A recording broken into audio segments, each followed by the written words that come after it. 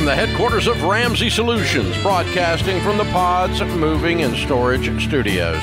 It's The Ramsey Show, where debt is dumb, cash is king, and the paid off home mortgage has taken the place of the BMW as the status symbol of choice. We help people build wealth, do work that they love, and create actual amazing relationships. George Kamel, Ramsey personality, host of the Smart Money Happy Hour, co host with Rachel Cruz, is my co host today here on The Ramsey Show. Open phones at 888 825 5225. You jump in, we'll talk about your life and your money. Liz starts off this hour in Charlotte, North Carolina. Hi, Liz, how are you? I'm good, Dave. How are you? Better than I deserve. What's up? Thanks for taking my call. So I am based in North Carolina, um, and I make forty-three thousand dollars a year. I'm on baby step two, paying off debt. I just cut up my first credit card, which was a whirlwind, um, but got through that, and now I have twenty thousand dollars in debt and student loans to the government. And I had two questions kind of revolving that. One, should I wait to pay it off for like wait for it to get forgiven or should I start paying it off now? And the second one kind of comes in with that. My dad passed a few years ago and left an inheritance. I have literally the exact change amount to pay that off. Um, I've been hesitant to do that because I kind of want to feel my own pain of my own stupid decision, but I also don't want to put that money towards my loans. I'd rather do something more important with it. Um, so yeah, that's my kind of question. Cool. Is that your only debt? Twenty thousand dollars for student loans? Yes. I thought you said you cut up a credit card. It, no debt on it? Yes. Yeah. No, I always paid off my my limit, but George Kamel help me figure out. Okay, I need I need to cut it up. I did. Look at that. Who Yeah. knew, Dave? That's awesome to hear, Liz. So if this is the Yeah, only debt, and you said the inheritance is to the penny the amount. Now, I Yeah. don't know what your faith background is. You know, you can call it a coincidence, but that just seems pretty happenstance. That the inheritance yeah, matches it up to your debt.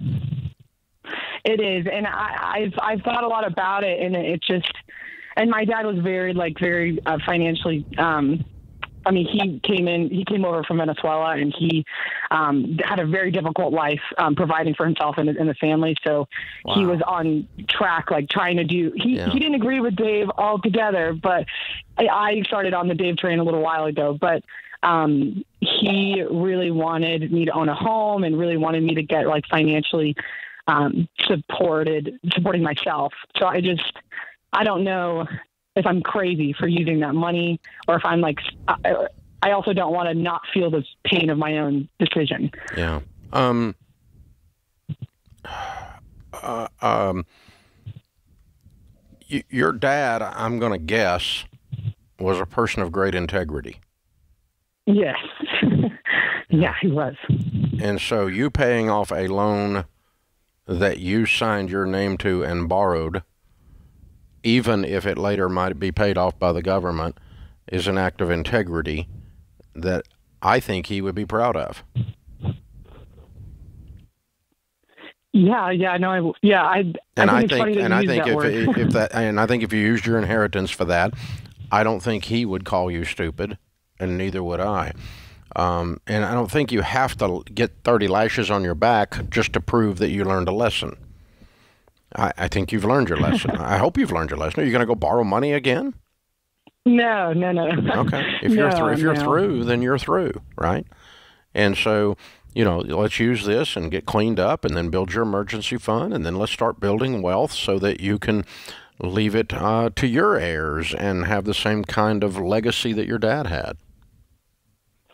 No, yeah, yeah. I, I, I was at dinner with my family the other night, and I told them this plan of paying it off, and they all looked at me like I was crazy, and they they ripped me to shreds. And I said, no, but this is about integrity. So I, I thank you for your advice. Yeah, yeah. I, I, just I think one of the things I always think about when someone asks me um, what they should do with an inheritance that they got is I always think about the person that left the inheritance and what would make them smile from heaven. And I don't think you paying off your debts now that you've learned your lesson and you living a financially responsible life going forward, regardless of if some half butt family member ripped you to shreds or not. Um, you know, uh, you just you know i'm just going to pay off a debt that i actually owe and not wait on uh, welfare. And um, I, I got a feeling your dad's smiling about that. Um, and so, uh, and here's the other thing five years from today, if you live forward following the Ramsey process, continuing in the baby steps, you're going to have substantial money. And five years from today, are you going to look back if the debts are forgiven by uh, the government later? Are you going to look back and feel like you did something wrong? No, you're not. So you're not going to have regret long term from having done the right thing. Even if it even if it has a little bit of pain to it, and even if uh, stupid people disagree with you, stupid people disagree with you all the time when it comes to money. That's why we call them stupid people. They don't get a vote. You're not taking a poll. And, and so you raised the question earlier, Liz, of uh, what if there's more important things I should be doing with this money? And I can think of nothing more important than setting yourself free financially from this debt that's been hanging over your neck. And if they forgive, if the Biden administration gets it through the courts and next week they come out and forgive it, which they're not going to, but I, I personally wouldn't have any regret because I signed up for this trip and I took the trip. You know, This this decision is taking up too much mental space when it could be free right now. too many calories. Brooke is in Hattiesburg, Mississippi. Hi, Brooke. What's up? Hey, Dave. Hey, George. How are you guys? Better than we deserve. How can we help? So, this is a money question, but it's mostly an emotional, psychological question, I think. Um, my husband and I want your advice on whether or not we should go home to visit family for Christmas this year.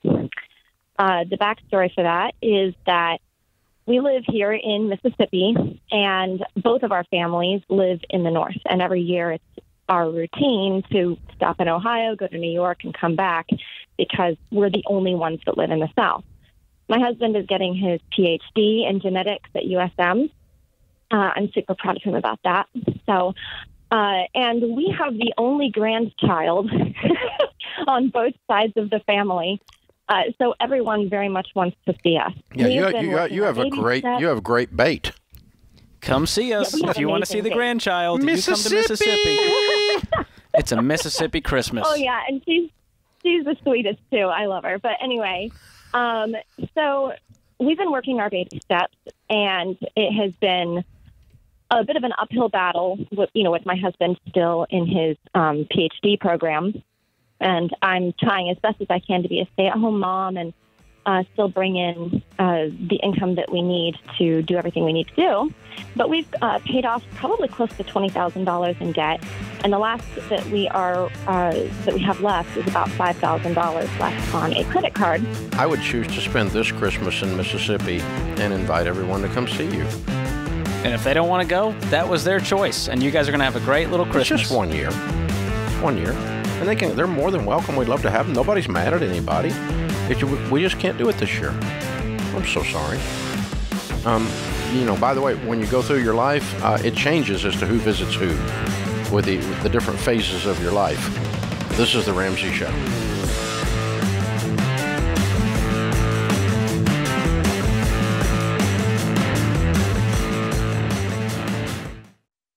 I say it all the time. If you're a business owner and you don't know your numbers, you don't know your business. And when markets are shifting, it's even more important. You've got to know where you stand so you make your next move the right move. And you don't have to be in the dark here. Over 31,000 businesses, including my team at Ramsey, know their numbers because they use NetSuite by Oracle, the number one cloud financial system. NetSuite gives you visibility and control of your financials, planning, budgeting, and inventory so you can manage risk, get reliable forecasts, and improve margins. Having everything in one place has saved my team hours each week since we made the switch to NetSuite. NetSuite is a game changer. So head on over to netsuite.com slash Ramsey to get a product tour today. That's netsuite.com slash Ramsey.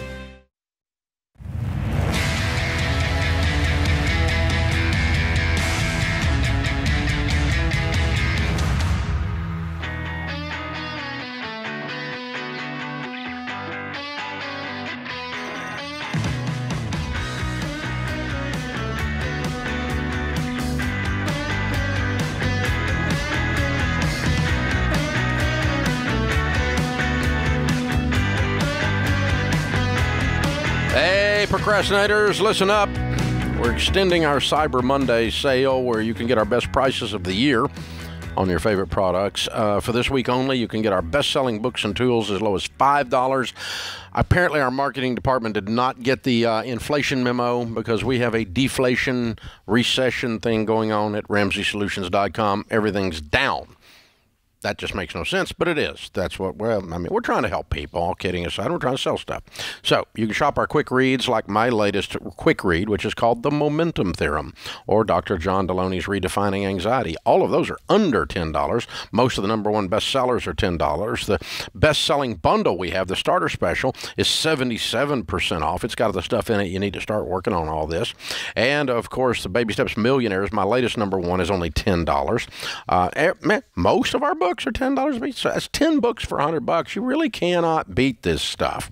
This is a season to share hope with other people. This is a way to do it. It's not condemning to give them a book on how to get their act together. You just say, "Hey, this helped me. I hope it'll help you." That's all you have to do. Instead of like, you know, here's a book on losing weight because you're fat. Don't Very do that. different. Don't do that. Don't do that. That's not good. Cyber Monday sale uh, continues all week long at RamseySolutions.com. Remember, prices as low as five dollars. So, George, um, they're dropping like flies. Who is? The um, the Bitcoin boys, Oh my goodness. the Bitcoin, the Bitcoin bros are they're just they're just dying like on the vine. I don't know what's happening. They're like the dinosaurs. We're gonna look it's- back. It's almost like um, like they had a bad business model. Wait, you mean You mean like fake it was, money? Fake money didn't work or something. You know, I'm gloating a little because I caught so much hell from you Bitcoin Oh, yeah. bros for the last three years, uh, five years, on how stupid a boomer I am and how out of touch I am. While I'm telling you to stay away from this crap, and now another one files bankruptcy just a few minutes ago, right? Oh yeah, yeah. We had uh, Block BlockFi BlockFi, crypto lender BlockFi follows FTX into bankruptcy, and follows uh, four others that filed this week into bankruptcy. and it's because it was a house of cards. Zay, Zay is. Zay is dropping like flies, man. Oh man. It's not. It's not. It's. Uh, I doubt many of our listeners had their money tied up in this kind of crap because they actually listen to this show. Uh, so I hope no one out there listening was hurt by this situation because users are going to their accounts and it's zero, and they're not getting their money back in these situations. So it's it's a scary uh, environment if you did throw a bunch of money into crypto, which millions of people have. You remember the old uh, movie "It's a Wonderful Life"? Oh yeah, Had a run on the bank. yeah. You go to get get your money out and you can't get it out. The bank went broke. Who knew? It's a Wonderful Life. It's, it's a modern day tale. Yeah, I wonder if there's any little angels with their bells ringing on this one. I'm guessing not. I'm guessing there's some devils doing the dance with their pitchforks instead. Uh, You got to wonder how many more. kind of thinking there's not any angels involved in this. I No. could be wrong. I mean, the guy looks like Belushi in Animal House, so there's no way that he's an. Yeah, uh, All that- actually, Belushi in Animal House, as stoned as he was, looks better than this guy. So, um, wow. That's what happens. You don't get out of the basement often enough for from fresh air and a haircut.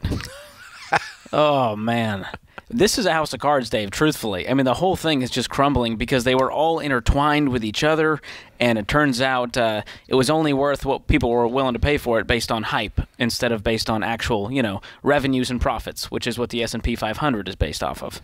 Well, and to recoup, I mean, we're gloating and carrying on and poking fun at you people, but we gave you great intellectual and academic detail on why this was going to happen.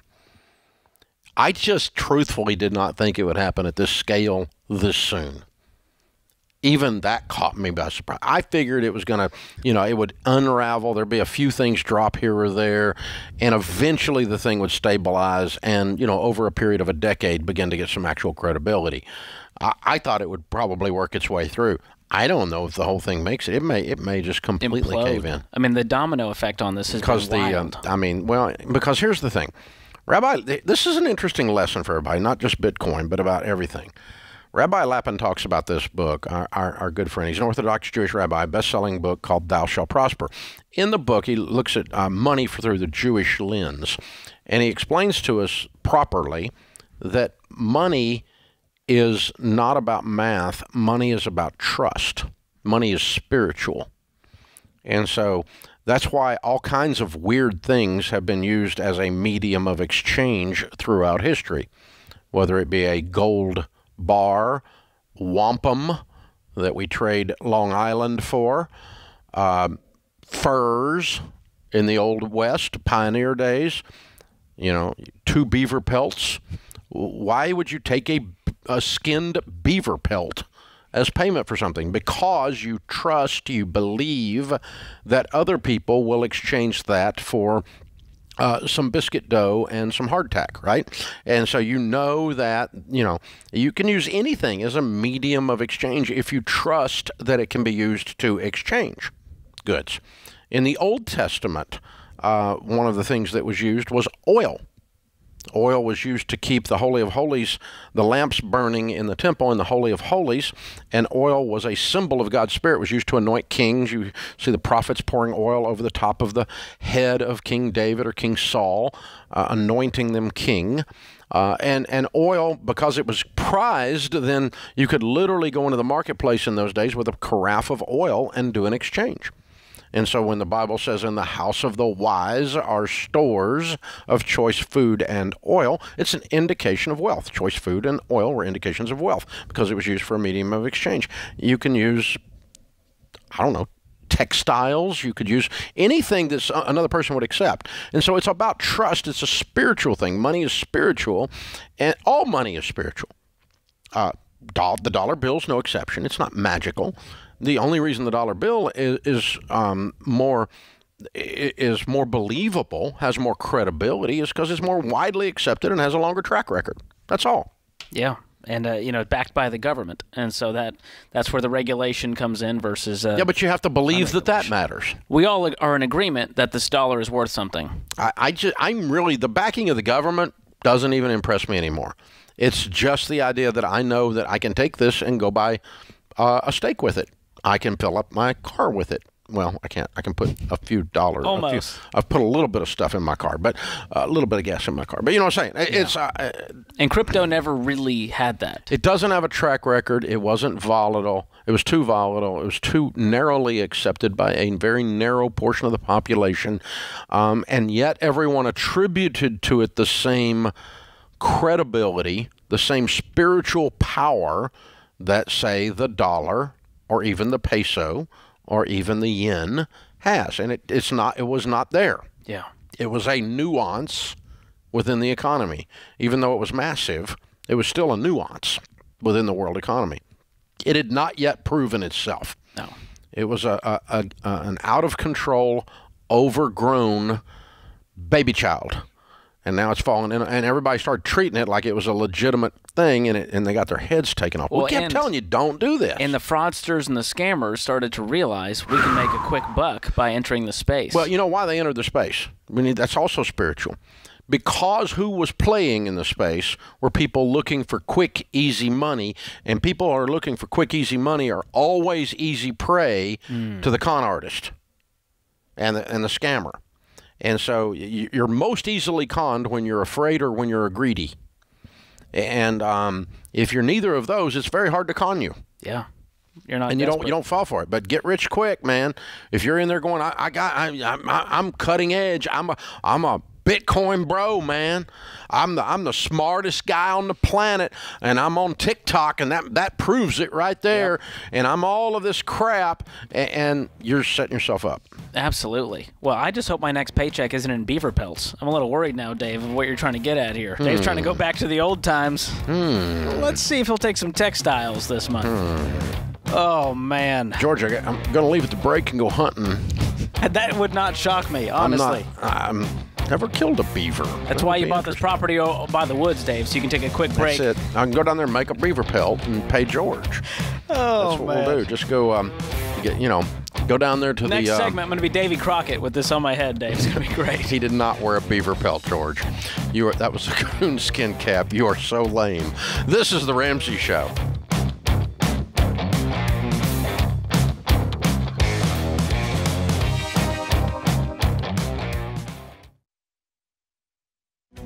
If you're looking for ways to update your home without blowing the budget, I've got it. For years, I've been telling you about our friends at Blinds.com. Blinds.com makes it simple to shop top quality blinds, shades, and interior shutters from home with easy online ordering and free shipping. With Blinds.com, there's no need to renovate your entire home. Just change out what's on your windows with upscale choices like faux wood blinds, cellular, and roller shades, or even outdoor shades. Plus, Blinds.com guarantees the perfect fit, whether you do it yourself or you have them measure and install everything for you. Shop their latest looks and see how much you can save at Blinds.com today. The easy and affordable way to make your home more beautiful is Blinds.com.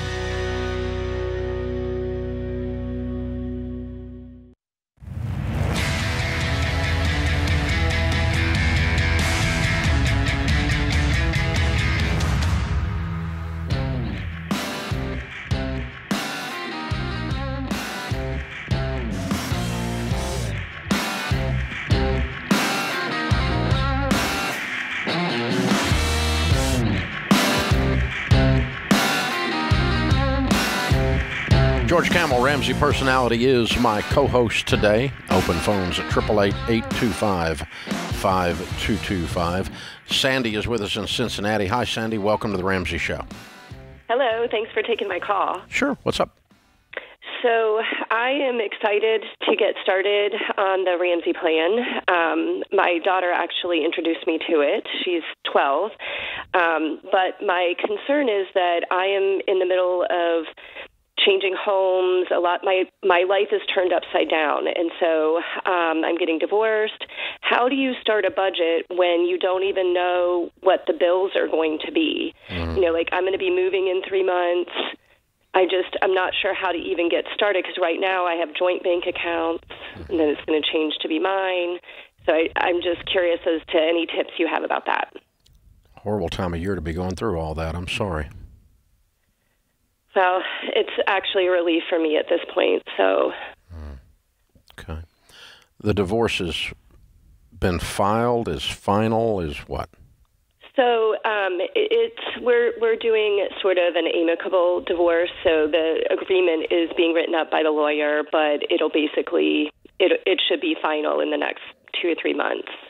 Okay. So, and we've already worked out most of the details with arbitration. Okay then you should be able to close your joint accounts today. Already? You should be able to if you if you're in agreement on it. Well, I mean, it's like the final back and forth about it within the next two or three weeks. But yeah, I would say probably in a month.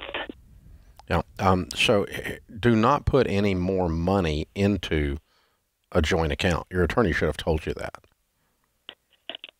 Okay. Uh, well, I think my husband is keeping the house that we're in, and I'm moving out. And I think it was just because that's what we've always been doing. And I guess I know, but you're not married anymore soon.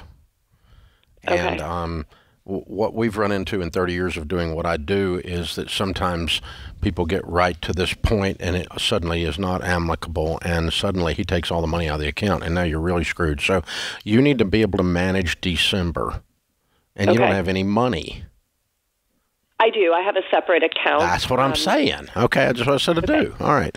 So, All right. Good. But most of our money so, is in the joint account. Okay, but, but we need we need to we need to bring the the cash portion of this agreement to an end as soon as possible and disperse so that you can begin to set up that part. Now, here's the thing. Okay. You can do a budget this month.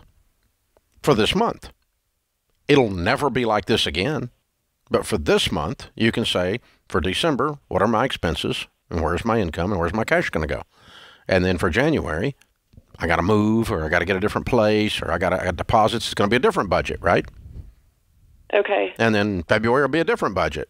But it always is different. You never do the same budget every month. Some of them are more similar than yours are going to be for the next few months. You're going to be vastly different every month for a while until it stabilizes. But you have to tell your money this month what to do before it leaves because you're in the middle of um, a, a, hugely volatile crisis situation, and it will give you great peace if you take control of this one area of your life.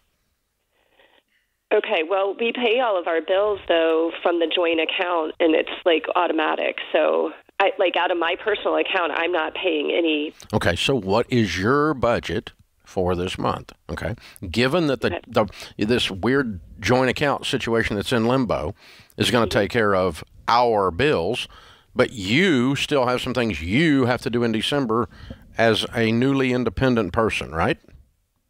Okay. And you need to write out that budget. There's probably Okay. not a lot to it, is what you're Right. saying. There's not. Okay. yeah. And uh, but you need a game plan, all right. And, and it might be that I'm setting aside a pile of money because in January after Christmas I got to move out and I need deposits, right? Right. I'm going to actually buy my house in cash. Wow. Yeah, I have an inheritance, so um, I'm I'm going to do that. And that, Are you, are you I'm renting in between, or are you jumping right into the home purchase? jumping right in. Um, it's yeah, it's crazy, but um, I don't want to loan money at a high interest rate, and I've got the money in the inheritance, and I'm buying a reasonable house. You know, like two hundred sixty thousand. Um, How much is in your inheritance? um, my portion will probably be about three hundred plus. You don't have the money yet. Oh, I do. Yeah. Well, You said you're you, you, if you don't if you have the money, you should know how much it is. Probably be. Well, because I'm going to give some. I'm giving some to some other family members. So I have some. I have some choice in that. It was all left to me, but I'm going to give some to some other family members. So it's much larger so it's than that. all your portion, Yeah. and you have that already. Yes. Okay. So it's not probably be, it's up to you. And so how much is your inheritance that is in your account? Um. Well, like four hundred fifty thousand. Okay. Cool. And, And, uh, so, yeah, because that matters. I mean, if you got yeah, 200, 262,000 and you're going to spend 260, that's a little less reasonable. Oh yeah, yeah, yeah. Well, I, you know, the other thing is that I'm not settling the estate. It's all mine, it's nearly settled until after the divorce. That way, there's absolutely no way that he can get it. Is what my lawyer told me to do. So, like, we have all the papers ready to go, but So you don't have the 450. I do. I mean, I I have it. I could settle the estate today if I wanted to, but I'm choosing to wait until after the divorce so that there's Okay. it's cleaner. All right. But it's all in accounts, and it's there's no one else. It's not, I got you. Okay. Well, the question was about starting the budget, starting this process, and budgeting is a habit, and so you're. It's going to take, you know, on average, it takes 90 days to get a hang of this budget, and now is the best time to start when you're in this situation. You need to be paying attention to where every single dollar is going and, protect it, uh, because this marriage has become a financial transaction, and you need to now stay protected. Yeah, and let's get the things unraveled as quickly as possible. Um, you're not going to do this, but my advice to you would be to not buy a house right now.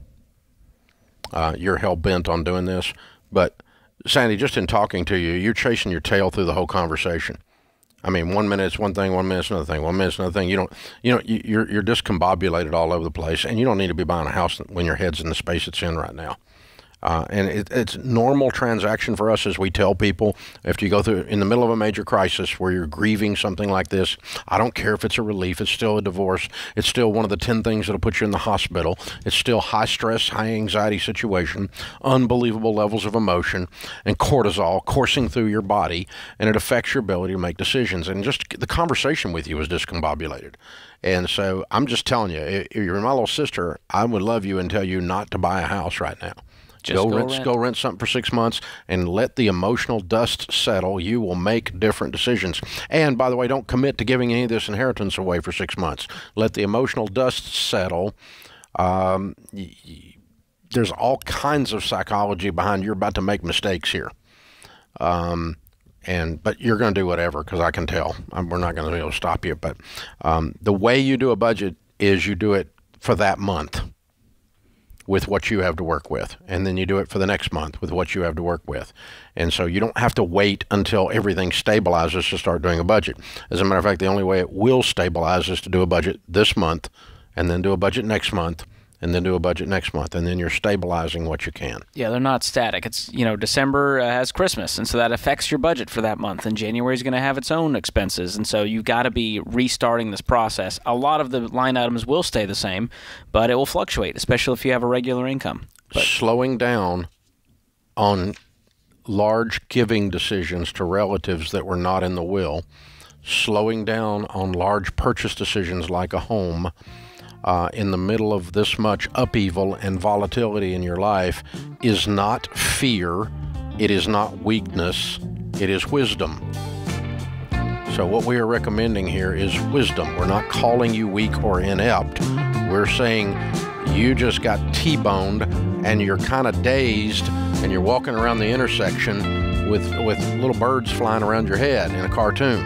And you need to get where you can sit down on the curb for a minute, let your head clear before you start admitting fault in this accident. That's what the kind of crap we're dealing with here. It's trauma. This is The Ramsey Show.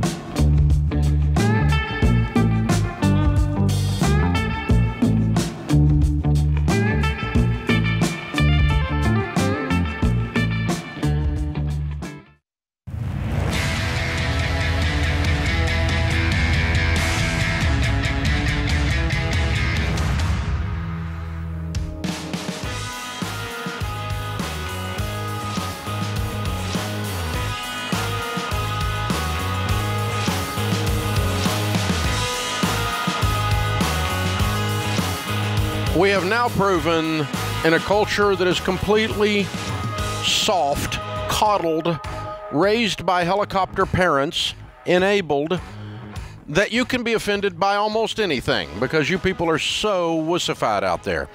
I never dreamed, George, that you would actually post an Instagram about eating at home is cheaper than eating out, and you would piss off half of the nation. You know, this how in the world is that controversial? you started the trend, Dave, because you've always said I know, but how is it? How is it that America is so completely wussified that the idea that you should not eat out if you're broke causes you to be angry and hate George? Unbelievable. In their defense, I have a punchable face. I understand. no. But not here- for that. you might get a punchable face for something else. Here's what happened. This is just pitiful. I did a, a, a talk. Dang, George, kick us while we're down. I do enjoy eating out even though I'm poor. You need to value your own time as if you're a king. It takes time to make your own food. You wussies! You unbelievable little children people. Unbelievable.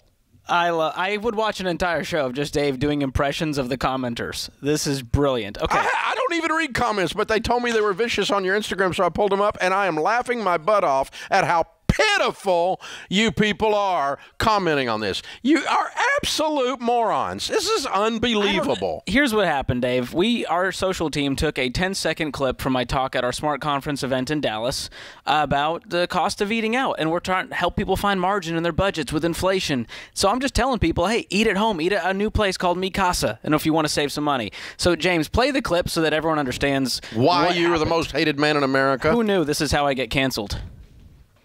The average cost of a meal right now is 13 bucks. Eating at home, 4 bucks. So when you eat out, here's the math because I'm a nerd, you spent 325% more. Enjoy. That that was the entire clip, and uh, it got 1.7 million views on TikTok, 300,000 views on Instagram, and most of those were like hate watches because they're angry. Now I will say, Dave, there was one comment that was true. It is 225% more. It's 3.25 times more, but 225% more. So for the true nerds in the comments, I salute your extra math there. But for everyone else, they're going, "What was this? The 1990s? You can't eat out for my Taco Bell cost $16." Guys, let me just tell you, it's a simple freaking formula. If you run a restaurant, you pay the food cost, and you pay rent, and you pay insurance, and you pay labor to cook the food, hypothetically, and deliver it to one of you people who have no idea that you can actually cook at home, apparently. It was shocking to your little systems that you might actually engage in labor in your own freaking kitchen other than your crop. Unbelievable, man. My favorite is people saying, "Well, Dave, I save so much time when I go to re- Have you been to a restaurant? You got to drive there. Number one. Well, here's the thing. Oh, and I left out profit Yep, and tip and tip. Well, I, these people don't tip. clearly. Clearly. Oh. No, this is unbelievable. So here's the thing I don't mind you eating at a restaurant. George doesn't mind you eating at a restaurant. But to say that it is punishment against your little soul that you shouldn't eat at a restaurant when you're freaking broke is so wussified, people. That's ridiculous. And it, of course, it's cheaper to cook at home. Of course, it's cheaper. Now, I don't know if it's $13 versus $4 or $130 versus 50 bucks, but 100% of you that can do any level of math have to know that it is cheaper to make the exact same meal at home than it is at any restaurant. You are paying for the entertainment value and the convenience of eating out. Those things are called luxuries, wimp.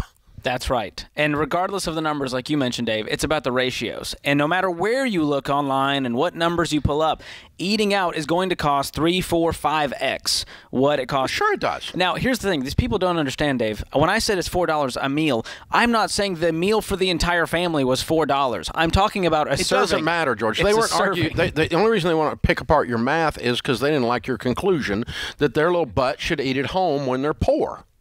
You know what it is? No one And then when you're not poor, you listen. I've been poor, and you know what we did? We ate at home. We weren't poor. We were broke. Poor is a mindset. That's right. Broke is I'm passing through. Okay, but if you're broke, you eat at home. yeah. You eat at home. And you eat the same thing again tomorrow night because it's called leftovers. Ooh, gross. I can't stand leftovers. Me and Sharon Ramsey agree that we're big fans of leftovers. Oh, Sharon, Dave's God, she won't quit.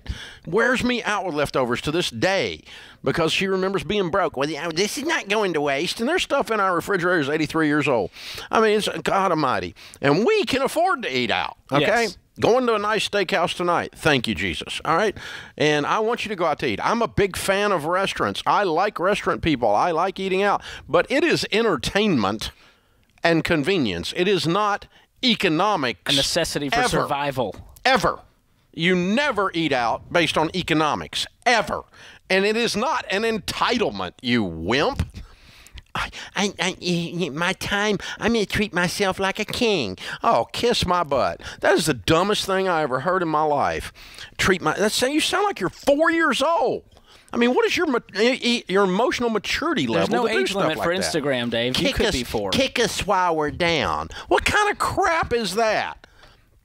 Kick you while you're down. What we're trying to do is keep you from staying down because you keep making stupid butt decisions. and that's offensive, Dave. it's offensive to do be mature.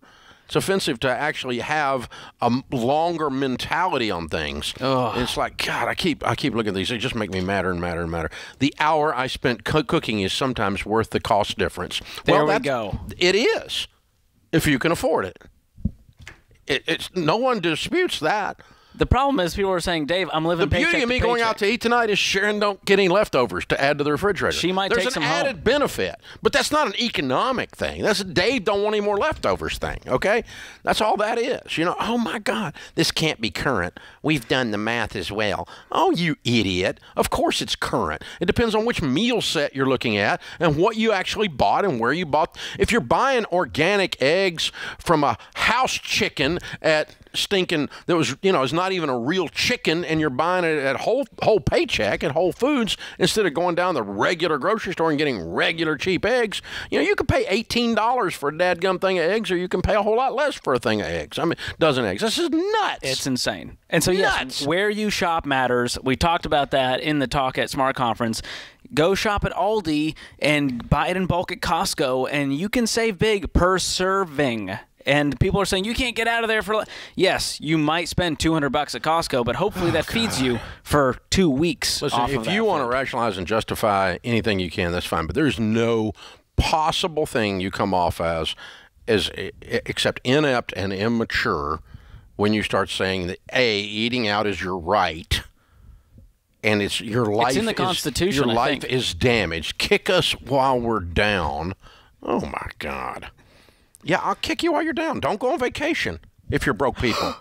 Don't do it. I made a woman on the Today Show that I was coaching cry on national television because she went on vacation in the middle of me coaching her. And I'm like, that's the dumbest dadgum thing I ever heard. Have you lost your mind? I told you not to do that. And she starts crying, and I got trashed because I jumped her case about dadgum being stupid. Here's the next one you're going to get, Dave. Dave, going on vacation is cheaper than my rent, so I'm just going to go on vacation. It's cheaper. It makes about as much sense as this stupid argument does. Yeah. And Oh, it's and, and by God, it's my right. You can't just work all the time. Of course, you have to take time off. You work all the time when you're broke. That's what you do. That's how you not be broke anymore. My grandmother used to say, "There's a great place to go when you're broke. To work. You work. That's how you fix the. That's how you fix the broke problem. That's Money comes from like no work. You work. That's what you do. Is it, is it a Oh, way of life goodness. throughout your whole life? No. But you little wussy, you go to work. That's how you fix this. You don't go out to eat. And you don't go on vacation. You're broke. It's not a human right. Dave, Good I think it's time God, for you to, we're spoiled Y'all are going to make Dave jump into my comment section. We this are- is a dangerous No, time to be alive. I, I am not joining. The, listen, comments. You are entertain a clown, If you read circus. comments on anything, you know why some species kill their young. I mean, it's unbelievable. Wow. This is the Ramsey Show.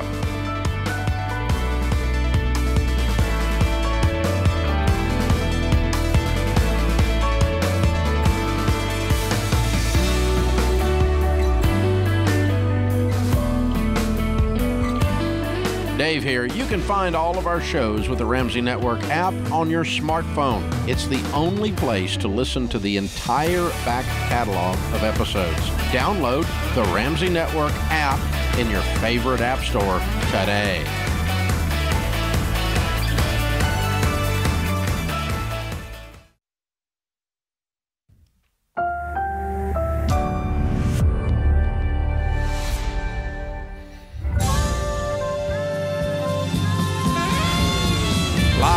From the headquarters of Ramsey Solutions, broadcasting from the Pods Moving and Storage Studios, it's The Ramsey Show, where debt is dumb, cash is king, and the paid off home mortgage has taken the place of the BMW as the status symbol of choice. We help people build wealth, do work that they love, and create actual amazing relationships. George Kamel, Ramsey personality, the most hated man in the restaurant industry, is my co-host today. It's an honor. Uh, that and, uh, and and by the horse people too. You, just, Oh, gosh, I forgot you about that. Actual contingencies of people that hate you. It's awesome. I'm so glad that you're moving things around and causing some friction. It's good to have you as my co-host today. Yeah. So if you don't know, he posted a thing on Instagram that it's cheaper to eat at home than it is cooking your own food than it is to eat out. And apparently, this is a revelation to people in America. So uh, we've had a lot of fun making fun of you people that uh, have uh, argued with George. Common sense is offensive these days. It's so rare, it's like having a superpower. Abigail's with us. Abigail's in Nashville. Hi, Abigail. Welcome to the Ramsey Show. Hi, Dave. Hi, George. It's good to talk to you. You, you too. What's up? Um, so, my husband and I are on baby step number six, and we're curious if we should use our savings to pay off our house, either now or in the near future. Why would you so, not? Um, well, um, That is baby step six. yes.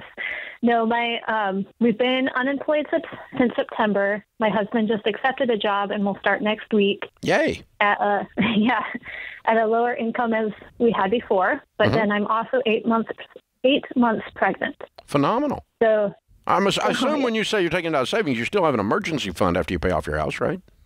um, i think so so we we have about 175 saved right now in various money market Mm-hmm. mutual funds stocks all this stuff um, and we owe 148000 so That would be like fifty thousand bucks left. Oh no, twenty five thousand bucks left over. right so that would emergency. kind of be our our emergency fund Yeah, what's your household so income? then um, so with this new job it would be 40000 a year Oh yeah, pay off your house tomorrow. Really? Why would well, you wait? Should we do it? Why would you wait? Well, I mean, do, do What we are you wait waiting until on? after the baby? Well, baby. What if? well, the baby's not going to affect. I mean, uh, babies don't cause foreclosures. No. Well, that's true. You have health insurance and you have your emergency fund. You have twenty-five thousand dollars. You have health insurance.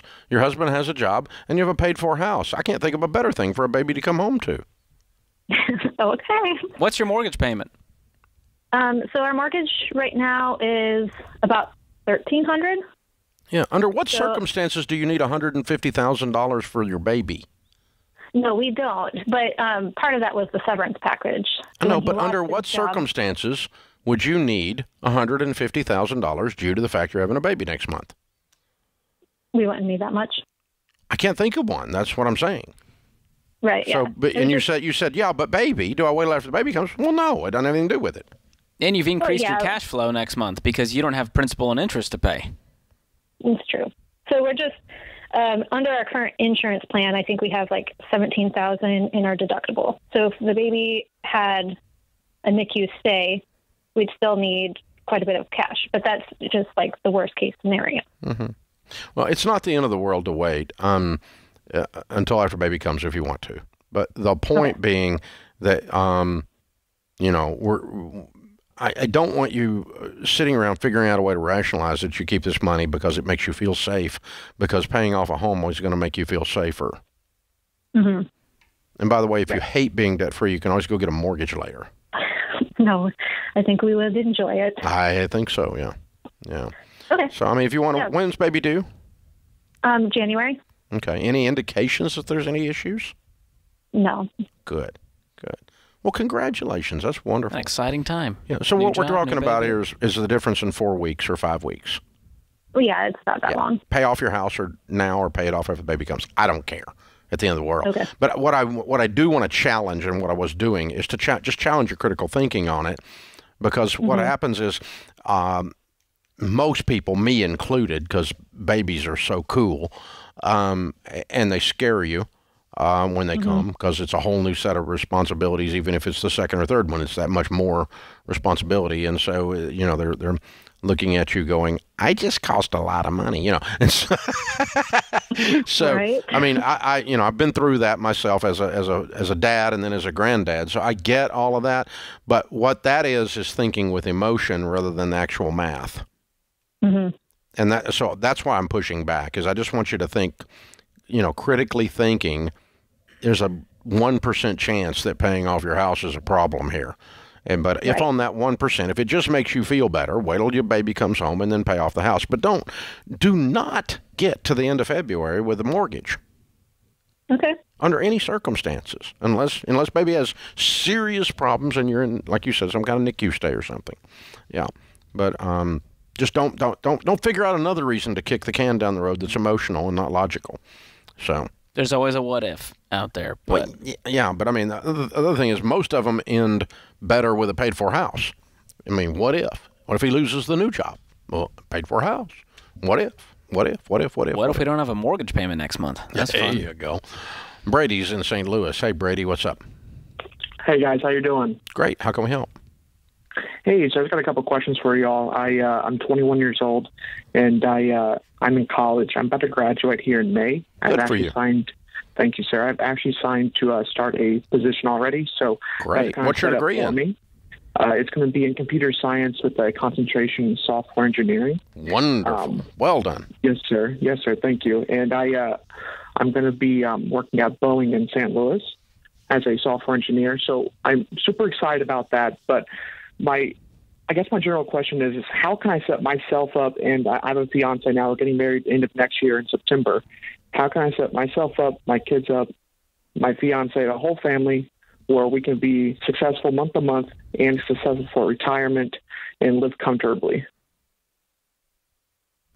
What are you going to be making? Uh, I'll be at eighty-two thousand starting salary, and I'll have a eight thousand signing bonus in May. And this is kids. This is future kids. Your fiance doesn't already have kids. You don't already have kids. Exactly. Yes, Okay. sir. Thinking ahead. So, do you have any debt? Uh, I have uh, I have no student loans graduating, but I have about twenty thousand dollars in car loan. Okay. Well, your A1 would be to pay that off uh, when you get out. Do you have any money saved up? Uh, I have about two thousand dollars saved up now. Yeah. Well, get graduated, get married, get the job, get the car paid off. That's thing one. Your most powerful wealth building tool is your income, and if you quit giving it to other people, it sets you up, right?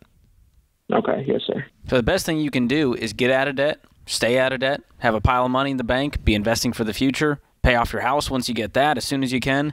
And man, that is the way to set up your family's future. And you're going to get there in no time. At 21, making the money you're making, it's only going up from here. If you follow the steps, the baby steps we teach, you'll be there in no time. I'm going to gift you Financial Peace University to help kickstart this journey for you. So hang on the line. Austin will pick up. We're going to gift you that. Watch all nine lessons with your fiance as a premarital counseling. It'll change everything, man. I'm telling you. Oh, every young couple getting married ought to do that. Wow. This is The Ramsey Show.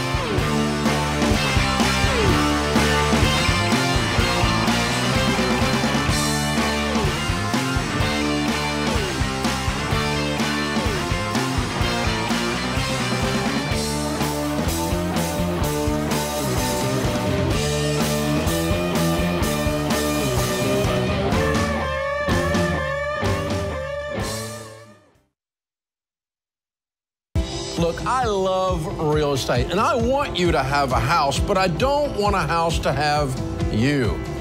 That's why you need to get in touch with Churchill Mortgage to make sure you do this right. These guys are awesome. They'll help you get on a smarter mortgage plan because they're committed to doing what's right for you. That means they check in every year with free consultations to help you stay on the right plan. They show you how to save money and interest so you can build wealth faster. They walk you through the total cost of your loan so you can make the best choice. Basically, they care. That's why we call them Ramsey Trusted. You can achieve debt free home ownership, and Churchill is here to help. Go to their site, churchillmortgage.com slash Ramsey, to start your approval or get more information.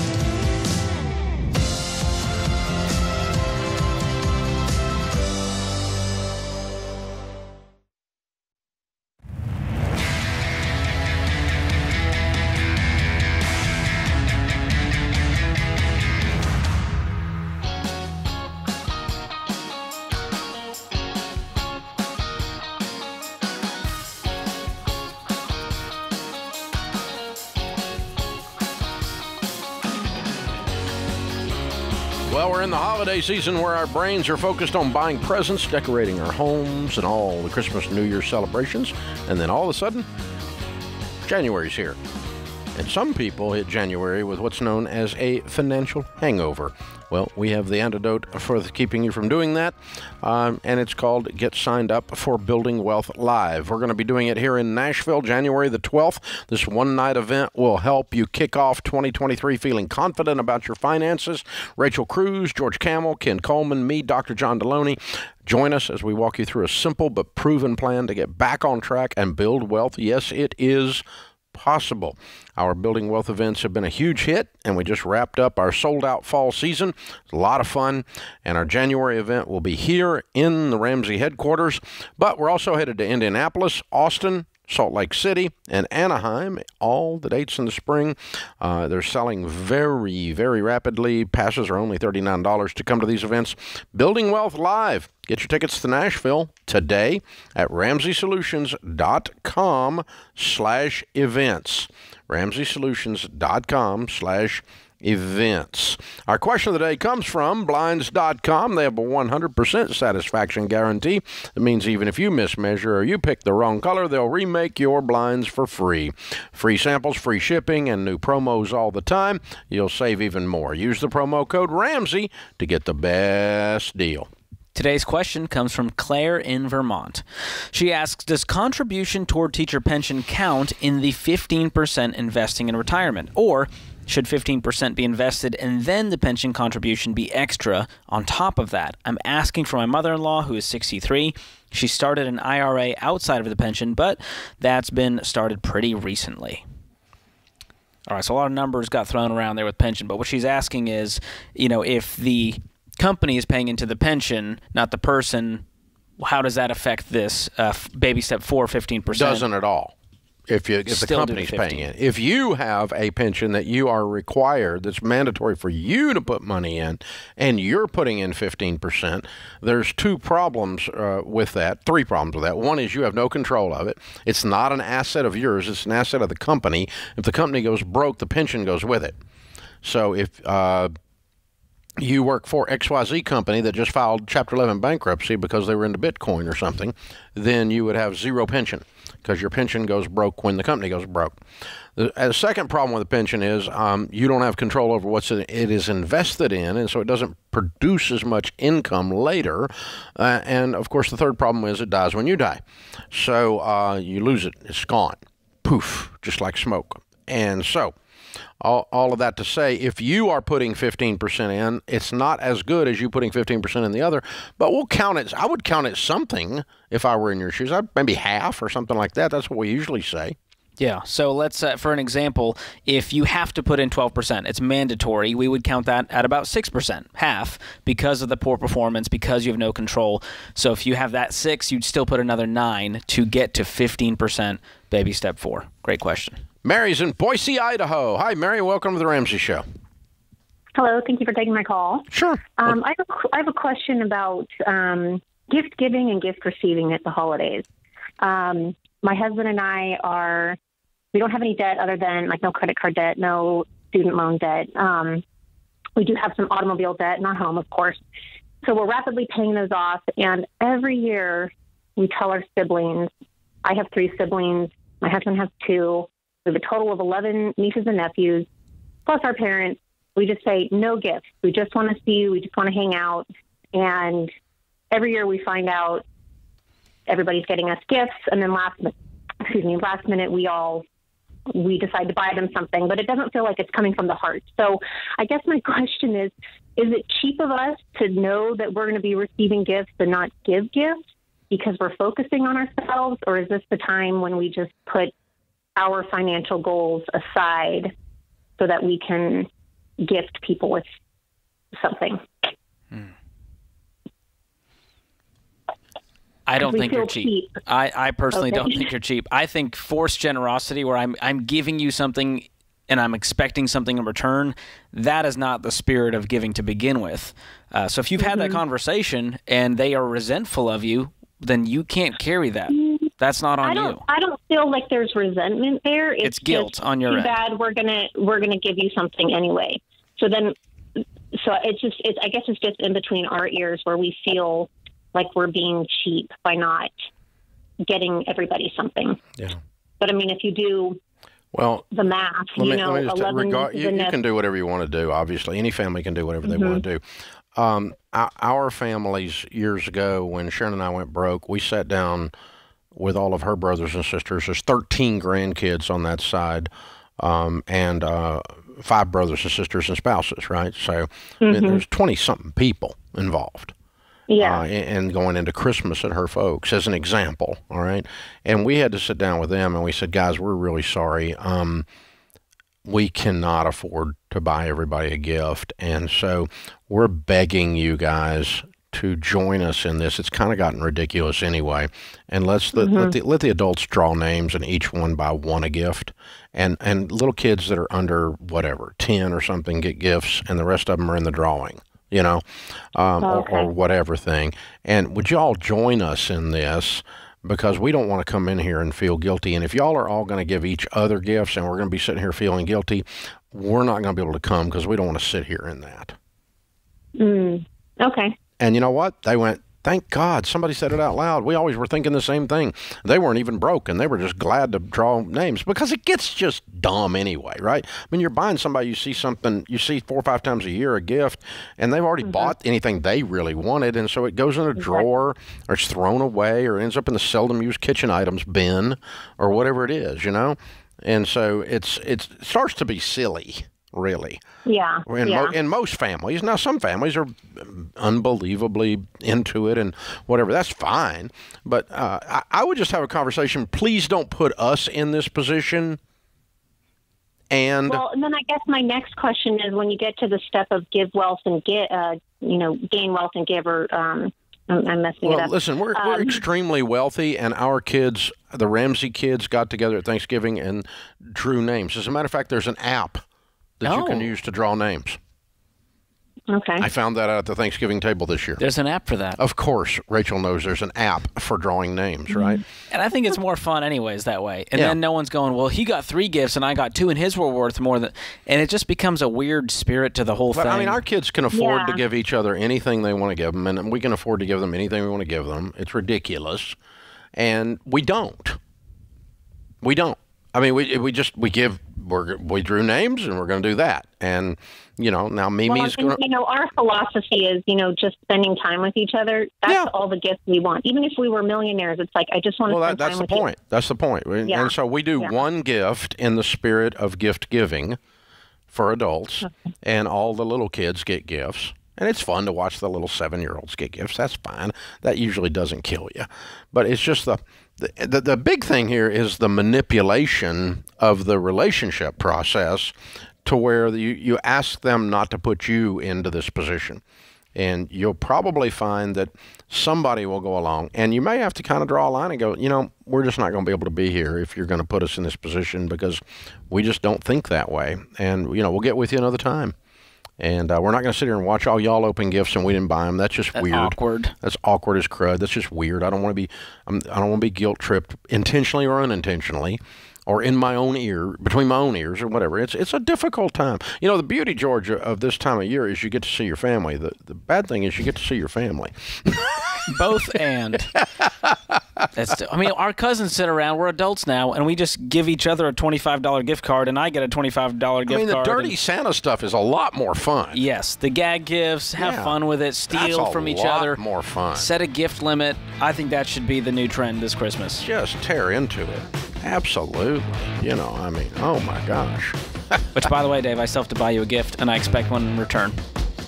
George, the chance of me feeling guilty about this is really Zero. close to zero. Maybe negative amounts I'm guilt. thinking, I'm thinking beaver pelt. Think if, oh gosh, back to the beaver pelt we go. You can make a hat out of it, George. This is the Ramsey Show.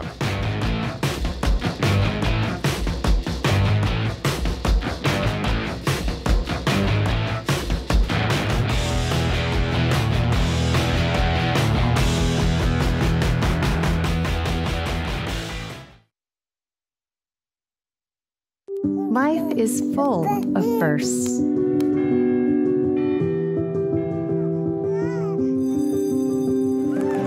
As the first and longest serving Christian health cost sharing ministry, CHM has shared medical expenses for its members since 1981. We believe you should have the freedom to focus on your health while being supported by a community of believers, giving you the opportunity to create many more firsts.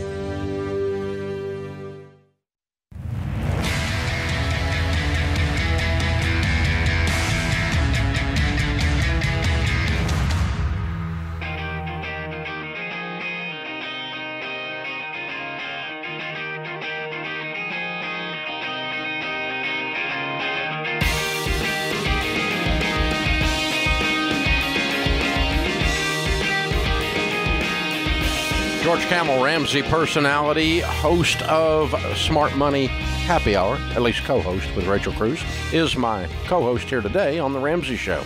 In the lobby of Ramsey Solutions on the debt free stage, David and Jessica are with us. Hey guys, how are you? Hey, Good. Dave. Welcome. Happy to be here. Where do you guys live? Just outside of Louisville, Kentucky. Oh, cool. Well, welcome. Glad to have you in Nashville. So, here to do a debt free scream. How much did you pay off? Uh, about 120000 All right. How long did that take? 22 months. Good for you. And your range of income during that two years? Uh, about 110 to 150 Cool. What do y'all do for a living? I'm a commercial truck driver. And I'm a, f- a supervisor for pharmacy operations. Awesome. Good. And what kind of debt was this 120000 Everything. Everything. Everything. Credit cards, student loans, uh, cars, Medical bills. medical bills, personal loans, all of it. You guys were like normal. Super normal. Super normal. And normal sucks. Oh, so, uh, how long y'all been married? All of the years. The whole time. How long you been married? Five years. Five years. Five. Okay. And out of the five years, about two years ago, something happened and gave you a wake up call. Tell us what happened and how'd you get started on this Ramsey stuff? Well, going back um, a couple years before that, um, 2015, uh, she was coming out of a, uh, a very toxic marriage. Um, I was coming out of prison. Um, did a couple years in Indiana for uh, drug addiction related stuff. Um, so we were both kind of starting over. We'd known each other since high school, but we kind of off and on stayed connected. So kind of came back together. And um, after we got married in 2016, um, we didn't really know what to do. We were living with family. Talking to bankers, talking to people that knew their stuff. Uh, everybody was telling us buy a house, do this, got to build your credit, get credit cards. So that's what we did. Um, they never said 17 credit cards was too many. They just said get credit cards. Um, Never gave me a number. Exactly. They never said stop. They just said to do it. So we did, and we did it a lot. And um, so then, um, 2019, um, we had bought a house. We we really should have been able to afford it, but we were so swamped in every other area that we ended up selling that. Moved back in with family, um, and then we just found ourselves really, really broke and. Uh, Trying to figure out where to go from there, and we found you. Yeah, this new life was supposed to be fun. it's supposed right, to be. that's and it right. didn't ha- didn't turn out that way. So you bumped into us where? Um, that would be me. Um, I worked with a guy for a while. Uh, I wouldn't even call us friends. We were just buddies at work. Um, and I remembered we had an open enrollment. He had mentioned he didn't need any of the or do any of the benefits at work. He used Zander. And I said, What's Zander? And he said, uh, The Dave Ramsey uh, stuff. And I said, What's that? He said, The financial guy.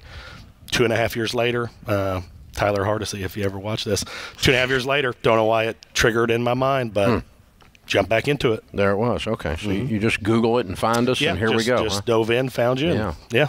Yeah. Well, Wow. congratulations! I'm proud of you. You went, I trusted bankers long enough. Let me trust this Dave Ramsey guy and see what he has to say. After watching it for a little while, he seemed like he knew what he was talking about. Wow.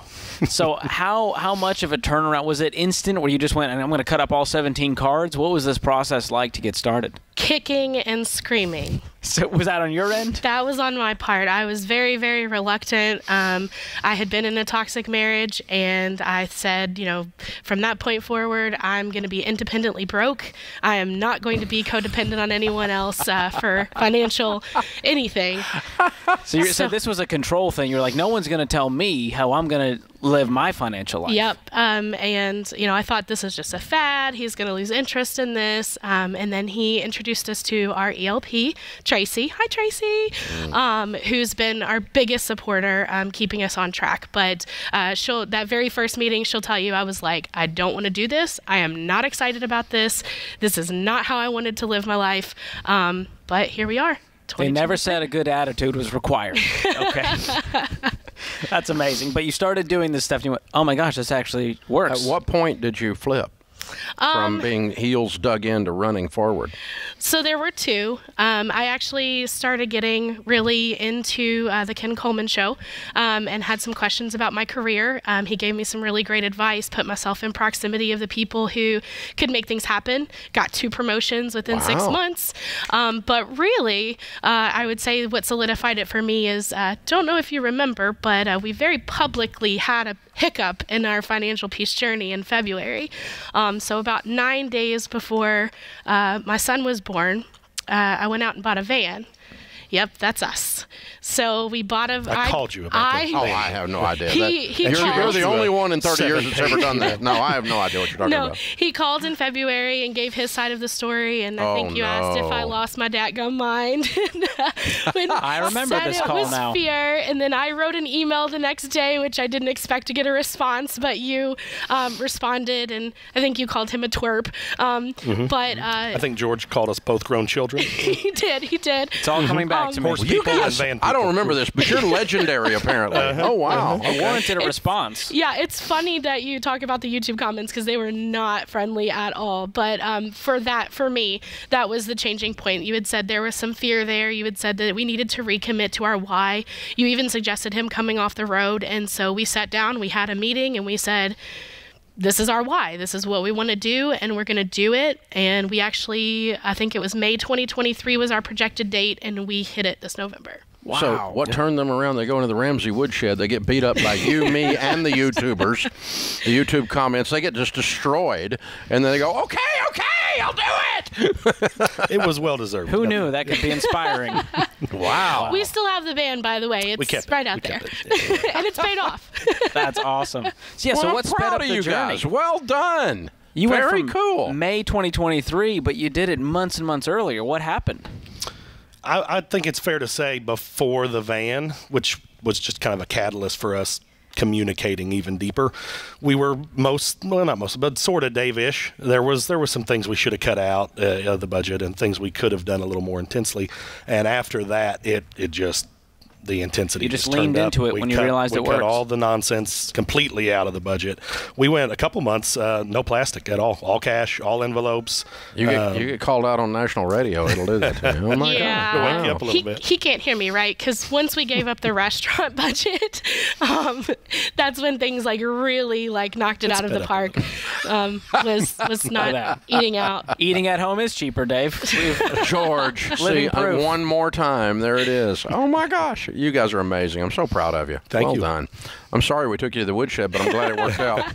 I'm glad it worked out. Uh, we we did it in love. We love you. We wanted you to win, and we're glad you're winning. That's awesome. It was it was a good needed motivation at the time. Wow. Sure. oh my gosh. What do you tell people the key to getting out of debt is now that you've done it? Everybody says the budget because you have to look at your numbers. If if you're not, you just you don't even know what you're looking at or what you're talking about. Um, so that is a have to. Being on the same page, uh, communication. I know she would say having grace. It is. It is. And that's part of why we're here is because, you know, we had a hiccup. We had a really big setback. I bought a van when we were 5000 from paying off the car that we had. Um, and so having grace and understanding that you're going to mess up or you're going to make mistakes throughout the journey, but it's not a reason to quit. Wow. That's good. I like it. Good for y'all. Well done. Well done. Hey, we've got a copy of the the uh, Live and Give box for you, the bundle, and that includes the Total Money Makeover book, the Baby Steps Millionaires book, and a one year membership to Financial Peace University. Use those things yourself or give them away to other people. Enjoy them. And uh, we're so honored to have you here. I'm glad that we get to hear the other side of a woodshed story. It's the where are they now? They're that's, debt uh, free now. That's, cool. what's up. I have no recollection of this because I've done that stuff so many times in 30 years, but I'm so happy It's only been five thousand calls since then. so happy. Well, I mean, I'm I'm yeah, I'm just I can't remember my name, but anyway, well done, y'all. Very very very proud of you. Good work. And you brought the kiddos. What are their names and ages? Uh, this is Walker. He's Mm-hmm. nine months, and Wyatt is 29 months. All right, cool. All right, 120,000 paid off in 22 months, making 110 to 150 plus or minus a van. Count it down. Let's hear a debt-free scream. Three, two, one. We're debt Oh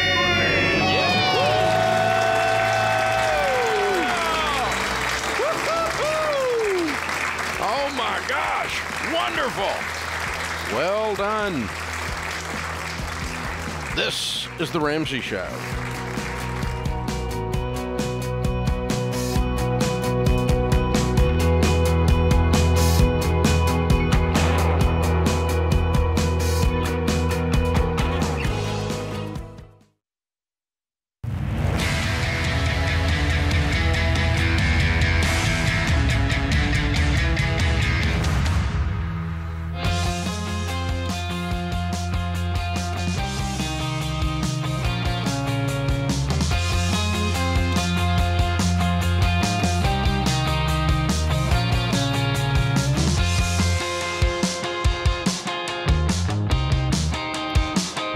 Kamel, Ramsey personality, is my co-host. Open phones at 888-825-5225. Tiana is with us in Evansville, Indiana. Hi, Tiana. How are you?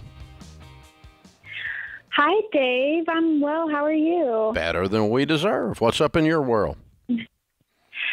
Yeah, so I just have a quick question.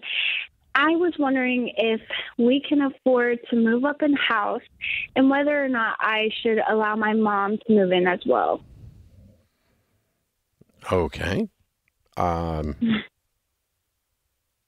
so, what is your payment now? Well, our house payment is 458. That's pretty cheap. What's your take-home pay? Yes. Uh about 6600 right now. Okay. All right. And do you have other debts? Yes, we do. We have a car for 15k. Mm-hmm. Okay. And so your car payment's bigger than your house payment. Yeah, uh, no, actually, it's 280. Oh, okay. Wow. All right. And what's your household income? Now you said sixty six hundred your take home pay, so your household income's a hundred grand. Uh, just not quite. Right now, it's at around um, 80 to 85k, but I receive SSI from my daughters, and that that's a fixed income. So that's how much I get with no tax. I see. Okay. All right. And um, so, uh, well, we, we tell folks not to have a house payment that's more than a fourth of their take home pay on a 15 year fixed. Um, so you have an awesomely low house payment. Um, so you're just wanting a better house? Why are you wanting to move?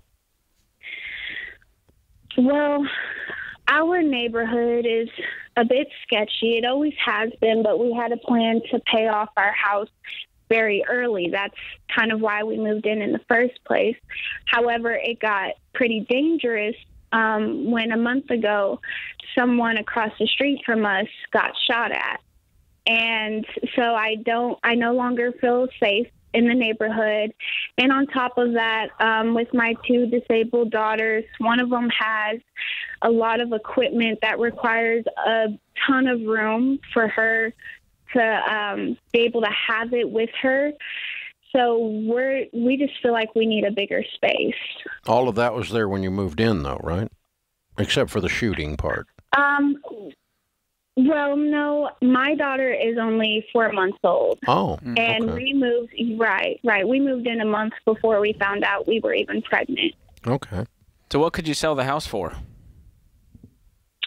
Maybe 80, 81, Hmm. What do you owe on it?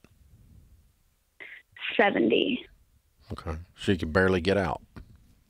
Right. Okay. So you get out and then you move, and your house payment's no more than a fourth of your take-home pay. As long as you do that, mm-hmm. that's going to be okay. The trick is you you you, don't want to get in a habit of, and it doesn't sound like you are, that every time I want to get a bigger, or every time my income goes up, I go get a bigger house because that just means you stay in debt the rest of your life. So we want to avoid that. But if you make this one move to get away from the shooting gallery, and and to get a little more room for the you know for the equipment and everything, then uh, that doesn't sound out of line. And why do you want your mom to live with you? Well, with my daughters, one has multiple appointments a week that I can't really make now that my other daughter is basically homebound. Um, and I have to be with her literally 24 7. I, I can't even walk outside without having at least another person with me in case of emergencies. So there's only two people who I am having trained in her care, which is my husband and my mom. And my husband works very long hours during the day. So it would be just a huge help if she was there to help take care of my daughters with me. Okay. And well, your mom yeah. doesn't own anything. She's just going to move into Right. your house and Right. help you with care. Um, the only downside is is that someday, you know, the situation is going to change, and you're going to, you know, Mhm. there'll be some undoing of that. As long as you don't say this is forever and ever until, you know, I'm obligated to do this for the rest of my life. No, I mean, we're this is what we're doing for this season. Right. Yeah. Okay. Yeah, I mean, I, I, that sounds like a wonderful thing. Your mom's able and willing to do that, and it sounds like you've got a pretty strenuous situation, kiddo. Um, the caveat I'm seeing here is if you sell this house and you've got zero dollars, you might need to pause and save up to have something down on the next house and maybe pay off this car and you know kind of solve that situation. So Yeah. I'm wondering, could you rent somewhere? You have a, a good income with 6,600. Could you rent for a little while maybe while you kind of get some foundation? Two. Uh, Yeah, a year or two, and clean up the car debt, and then build up a good down payment. You're right, because you're not going to have a down payment. that would give me a little more financial peace stepping Yeah. into this situation. Yeah, I think that's probably a, need. good- that's probably a wise suggestion right there. Something to follow. Austin's with us. Austin is in Wisconsin. Hey, Austin, welcome to the Ramsey Show. Hey, fellas, how you guys doing today? Great. How can we help? Hey, so uh, I'm a 28 year old guy in college, and I just got home from the jewelry store purchasing an engagement ring for hopefully my future fiance. Yay! Way to go! Yeah, thank you guys very much. So uh, obviously, like I'm a huge fan of the baby steps and everything, and you know follow them to a T. However, when talking with her about it, uh, she has one asterisk that she wants to make, and I want to know if this is something I should, you know, raise a stink about, or if this is kind of something I should just let fall by the wayside. And that is, uh, so we're both in baby step two right now, um, paying my way through school and everything. And uh, the, my question is, should we put 20% into retirement once we get to baby step four? That's her asterisk. Or should I fight about it and make sure that it's 15? Because I really want to pay off the house as soon as we can. But she's, you know, looking at the numbers and thinking that we're going to lose out on a lot of, you know, like growth and growth and growth and time and everything like that. Yeah. So what is her net worth? So her net worth right now is probably upwards of fifty thousand. Yeah. Mine's not. No, I I, I completely agree. I, I, I, that was a a trick question, Dave. Here's the thing: if she was so concerned about the power of compound interest, why would she go into debt in the first place? Yeah, that is a fantastic question. So I'm, that's a smart aleck answer, Austin, to say, um, you know, if you use your best ideas and your best ideas have gotten you nowhere, you probably should use someone else's best ideas. I that that's kind of my opinion as well. Yeah, and that's that's not a twenty percent versus fifteen percent thing. That's not a caveat or an asterisk thing. That's a philosophy of life thing. And so it's kind of like saying, um, you know, I just hired a personal trainer. He has an eight pack and I have a keg, and um, I'm going to do everything he says, but this one thing. Well, you can do that. You can do that. But please don't be arrogant enough to say it's because you're smarter than the guy with the eight pack when you have a keg. And then don't blame him when you don't have the eight pack because you didn't follow the plan he set out. Exactly. Because I mean, he's he's mm-hmm. got he's got the plan to get you to where he is, and he's got proof standing in front of you that it works. Now you can adjust his plan if you want, but it's to your own peril. And tens of millions, literally, tens of millions of people have followed these baby steps. So it really, honestly, it doesn't matter. The 10% versus 20%, all that doesn't matter. What matters is this idea that um, that that I'm going to question my personal trainer who's got a track record. You know that that that's that's the important part of the question. It's not the, this uh, the nuance of you know it, it, did God ordain fifth? No, He didn't. Uh, that, that's not the point. And, and uh, it's just that the stuff we teach works, and so why would you screw with it? That's the If it thing. ain't broke, don't fix it. Yeah, but you know, let, let's enjoy being engaged and having a lot of fun and planning a marriage, and uh, let's learn to take advice from people who are ahead of us on the journey, whichever journey that is, whether it's parenting or marriage or career or money. That puts this hour of the Ramsey Show in the books.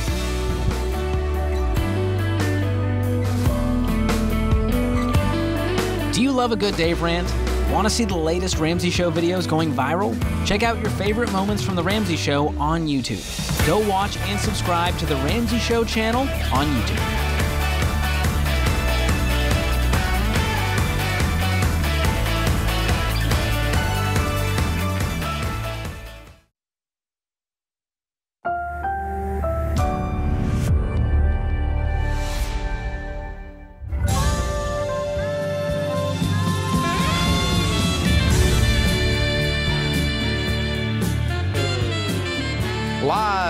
Headquarters of Ramsey Solutions, broadcasting from the Pods Moving and Storage Studio. It's The Ramsey Show, where debt is dumb, cash is king, and the paid off home mortgage has taken the place of the BMW as the status symbol of choice. We help people build wealth, do work that they love, and create actual amazing relationships. Thanks for joining us. George Kamel, Ramsey Personality, is my co host today. Open phones at 888 825 5225. Angela is with us in Jacksonville, Florida. Hi, Angela. Welcome to the Ramsey Show. Hello. Thank you. Thank you. How can we help? Yes, sir. About three years ago, my husband and I we purchased um, a 2019 triple wide manufactured home, Oh, no. and with you know the eh, yes, and with the you know cost of living and everything else rising, we just found out that to replace our same model, it's $120,000 more than we can get insured for. And you know, we've called around, we've gotten additional quotes that will go up to about 190, but still nothing that would, you know, offset the cost if we had a you know a total loss. And we're kind of confused on how we should move forward because we are debt. You you are what? We are pretty much debt free. That's good. Well, um, you're going to have a total loss on this. Over the next 10 years, 15 years, it's going to become worth zero. Okay. They go down in value. hmm So, uh, you've got to you've got some. I, I I would sell it today, so you, while you can get some money out of it before it goes down in value more. Every year you wait, it's going to go down in value, not up in value. The home you own Yes, should go up in value. hmm Triple wides, double wides do not go up in value. Yes. The um the hardest part about that is we do I, I am on family land, which is mine. It's deeded to us, and I could sell it, but then we would have somebody we didn't know, you know, right beside us. I do have another acre of land that I could build on, but you know that's where we were kind of, you know, we're torn. But financially, we want to make the best decision for us because, like I said, you know, we we are almost completely debt free. We only have twelve thousand dollar um, vehicle payment, and we'll be completely debt free. Hmm. Yeah. Well, here, here's the thing. What what would it sell for today? Probably around three, three fifteen. Three hundred fifteen thousand. That counts the ground. Yes. Mm-hmm, right. What's the dirt Right. worth? Um, the dirt is probably worth about. Uh, I'm probably think seventy five. Probably worth what? About seventy five. Seventy-five thousand dollars. Okay, so Yes, so you you think that the trailer itself has a value of two hundred thousand bucks? Yes, sir. Okay. All right. Um, and so here's the thing. Ten years from now, the two hundred thousand dollars is going to be twenty thousand or forty thousand. Agreed? Yes, sir. Okay. That tells me I have to do something. Now, I don't Mhm. know what it is exactly we're going to do, but I'm not going to ride that. Can- I'm not going to ride the horse till it dies. The horse is sick. Yes, sir. And so um, it could be that I sell it without the land under it and move it somewhere, or I buy a little piece of land somewhere, move it to that land, and then sell that package somewhere uh, and get it off the family land and then build a house on the family land eventually.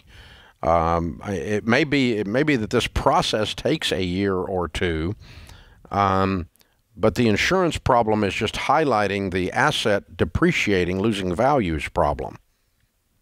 It's it's it's telling you you can't do the. It's telling you you shouldn't keep it. Right. So, you know, if the family land, uh, who's uh, on the rest of the land? My my mother. Your brother. Okay. My mother. Oh, my your mom. mother. I see. Okay. Yes, my mother. Mm-hmm. Okay. And what's your household income? Um, about one hundred and fifteen thousand. Very good. Okay. Well, it might take a little time to execute, but one option would be to buy a piece of property somewhere to move this to, move it there, get the septic in, get it hooked up, have a you know a full property there with land and trailer and sell the whole thing. You're probably going to get a lot more for the trailer if you do that than if you just sell it with no dirt under it. Agreed? Correct. Yes. That would be my guess anyway. I fool with these things Mhm. over the years a few times in the real estate business, but I'm not an expert on them. But I'm, I think you can. And, and here's the thing: it's very tempting because you're debt free to just sit there. But we have to say out loud over and over again that you're getting ready to lose a lot of money when you do that over a decade, over a period of time. And I would rather you make a shift here now that's painful and very, very inconvenient. Um, and you know, end up building you a nice home on there, and even if you took on some a mortgage and you turn and get the mortgage paid off, that kind of thing. But just riding this thing all the way down, it doesn't make sense. Yeah, I'm wondering if there's an option where they hang on to the family land, but they go move into a neighborhood and get a normal house that will appreciate in value. until you get them. But but it, it, you can't hang on to the land. You can't leave the trailer there. You got to sell it. Yeah. And if you sell it, you're going to sell the property next door to your mama, which is that's hard to do. I mean, Yeah. that's very hard to do. That's even more inconvenient than my idea because it's inconvenient family wise. Mm. Um, and sounds like they would prefer to live there next to her mother, you know, and so forth. So, yeah. Um, uh, so I, I, I just want to see him build I'm not gonna. It's not a panic. But two years from now, I'm not gonna be sitting in the same exact place, watching this thing go down in value, because your net worth is going the wrong direction, and um, and and just because you don't want to face the inconvenience of of somehow getting rid of this trailer, Yeah. uh, and, And- it is going to be very. It's going to be a pain in the butt. And paid for real estate is a big part of the building wealth. Yeah. And keeping. but not paid for trailers. No, because that's backsliding. Yeah, it's just a large car. Financially, it's a large car you sleep in. Yeah. I mean, they go down in value. It's that simple. Well, and there's a reason the insurance company's not messing with Exactly. it. Mm. They, they, they're not going to cover it. Jacob is in Albuquerque, New Mexico. Hey, Jacob, how are you? Hey, doing pretty good. Um, my question is, me and my wife were having our first child, and I want to start a new business. We both agreed on an action plan, but uh, I kind of wanted to go over the particulars with you and find out, you know, if I might be missing something. Okay, cool. I'll tell you what, we are heading into a commercial break. It sounds like a really important question. I'd like to get the details and give you a proper answer instead of trying to do it in 24 seconds. And so, if you'll hang with me, we'll come back to you, Jacob, and uh, George and I will walk through this with you, my brother. This is the Dave Ramsey, or the Ramsey Show. Where did that come from? If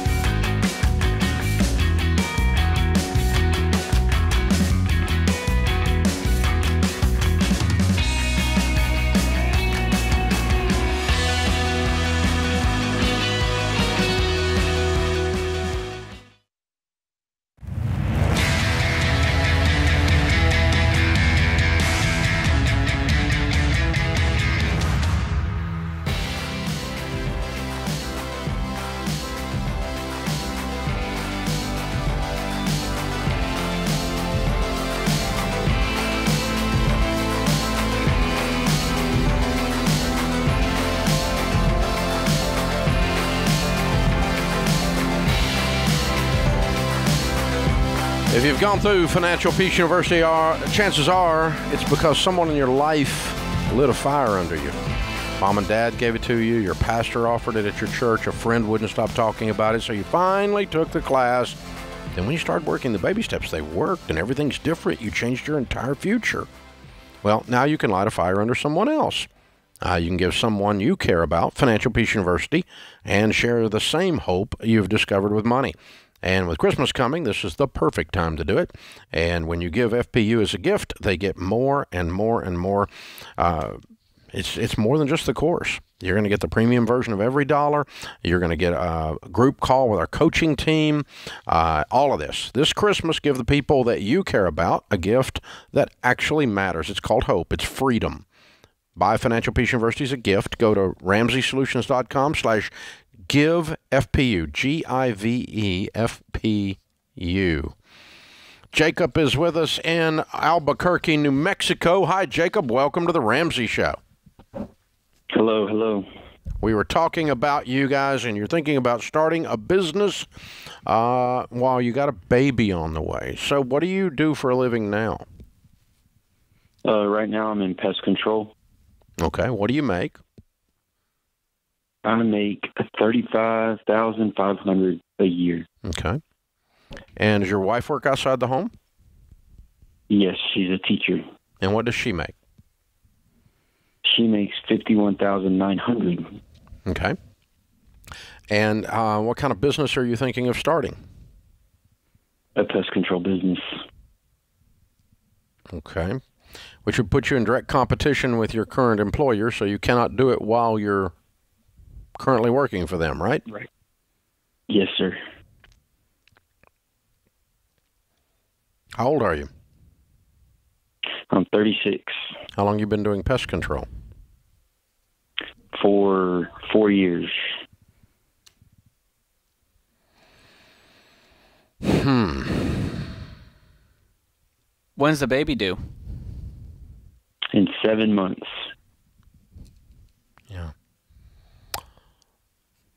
But um, so, just a little bit of what's been going on, what we're looking at numbers wise.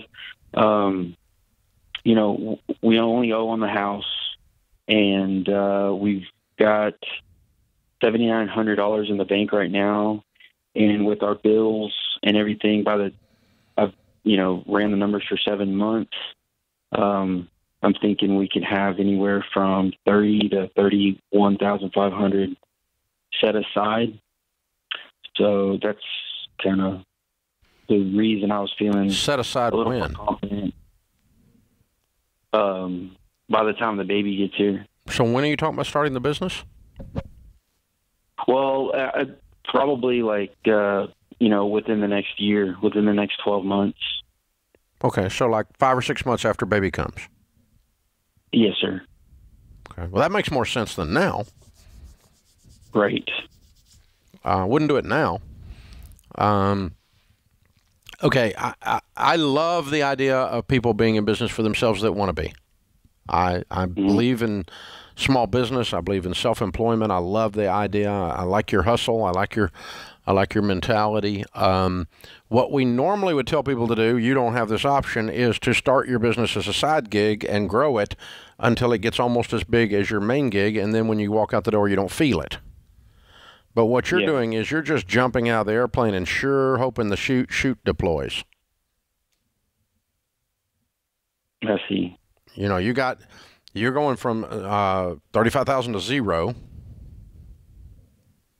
right? Mm-hmm. Yeah. Because you, really can't, with good ethics, work on getting customers while you're working for somebody in the same business, right? Right. Have you looked into the startup costs of a pest control business? Uh, yeah, yeah, I have. What is it? What does the cost look like? Well, I mean, it's really not. I mean, it's not very expensive. It's under ten thousand dollars because all you need is equipment and, um, you know, the licensing and things like that. And you'll need money for marketing, a website. You're going to hire people. Uh, no, like at first I would work by myself. Um, Where are you going to get your customers? as far customers? as marketing? Oh, I was thinking either um, like a Google search business um, profile or um, you know radio advertising. which will cost you money. So that's another thing to factor Right. into the equation. Uh, there's pest control companies that have been around a lot longer, with more money, with more marketing, with more Google history that will show up way before you do. And so I would have a a really strong plan of attack that doesn't involve trying to sink a whole bunch of money into marketing up front. Right. Yeah. Well, also too. I mean, I'd be hitting the pavement. You know, um, door to door. Going to, going to businesses. Yeah. Going to you know, hitting neighborhoods and kind of making sales that way too. Okay. Why would I use you versus ABC that's been open for 10 years? um, because I have the experience and I'm going to show the dedication that ABC wouldn't show because they're they're just hiring somebody that's working for minimum wage that's just going to go in and spray real quick, not even do an inspection. I'm going to come in and do an inspection every single time. Okay. What what I just asked you is called your brand differentiator. How is your brand different from your competitors? And you gave a really good answer, by the way. So you need to get that. You need to get that narrative down because that's why, that's what people are going to be asking themselves. Is um, you know why are you different? Why would I care? I've got someone that sprays my building now. Why would I change? Right. I mean, you're going to find a few places that have zero pest control, but not many. Most of them, you're going to be asking them to change companies, not start Right. from zero, which is good news because they're already spending the money. Uh, they're used to spend the money. You're not trying to get them to spend more money than they're spending now, but you are getting them to change, and change people don't do unless they got a reason, right? Mm-hmm. So, Yes. yeah, I, I think you need a big uh, war chest here, And uh, I'm going to send you a copy of our book, EntreLeadership, which is how we run business here. We've got a whole brand called EntreLeadership, works with small businesses. We work with a lot of pest control people around the nation. As a matter of fact, uh, they come to our EntreLeadership conferences. I've met a bunch of them over the years. And so it is a good business to be in. It's a good service you provide. There's a lot of different ways to do it, um, uh, and a lot of things you can do that uh, brand differentiate. I endorse one in one city that uses all natural. Oh yeah, chemicals. I uh, hung out with one at, in San Antonio. Yeah, long time advertiser. Yeah. of- Been of been with me for 15 plus years. We've been endorsing them there, so uh, it's a, it's a great great idea, great brand differentiator. You know, all natural chemicals. But I, I do my homework and go, what are all the competitors in the area? What are they doing? How are they marketing themselves? How can I stand out in the crowd? What's the pricing structures look like? All of that. You really, really, really need to do your detail. The good news is you got a year to get all that ready before you have to make the jump. The the scariest part of the whole thing, Jacob, is you're going to go from you know making money to zero, day one, because you really can't go lay a foundation under the business in terms of customers or income with integrity while you're working for your. Yeah. You know, getting ready to turn your future thing into a competitor. It may be wise to jump into a different kind of sales role where you could start this pest control business on the side Take a- while take having a different foundation. job. Exactly. Work in a completely different field That would give me year. some financial peace if I had a new you know baby. what? If you could do something else, making thirty five thousand, anything, for one year while you do this, um, and then you're not a competitor, and you could begin to build your pest control business a little bit on the side. That's a great idea, George. that excites me. It just makes me less nervous for him you know, that's that with a new baby. that's as smart as like Ken Coleman. Good- Wow. Good, good in. Ken, good in- I'm getting good- on your level, Good buddy. idea. I'm excited really, for him. really good idea. That's cool. I like that. That's the way you do it, Jacob. Because the, th- the biggest thing that's bothering me about this is the zero, Risk. you know, 35 to zero. A lot of risk. thing. And with a brand new baby. That, it's a recipe for Sharon stre- would not allow that. It's a recipe for stress. Actually, she would, but yeah. You did it. Yeah, I've done it. Yeah, so there you go. This is the Ramsey Show.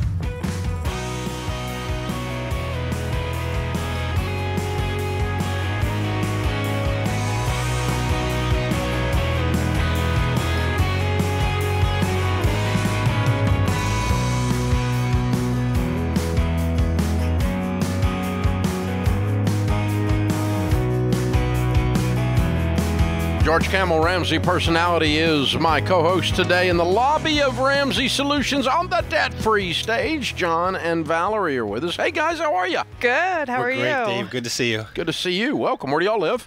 Lancaster, Pennsylvania. Lancaster. I love it. Love it. Love it. Welcome to Nashville. How much debt have you paid off?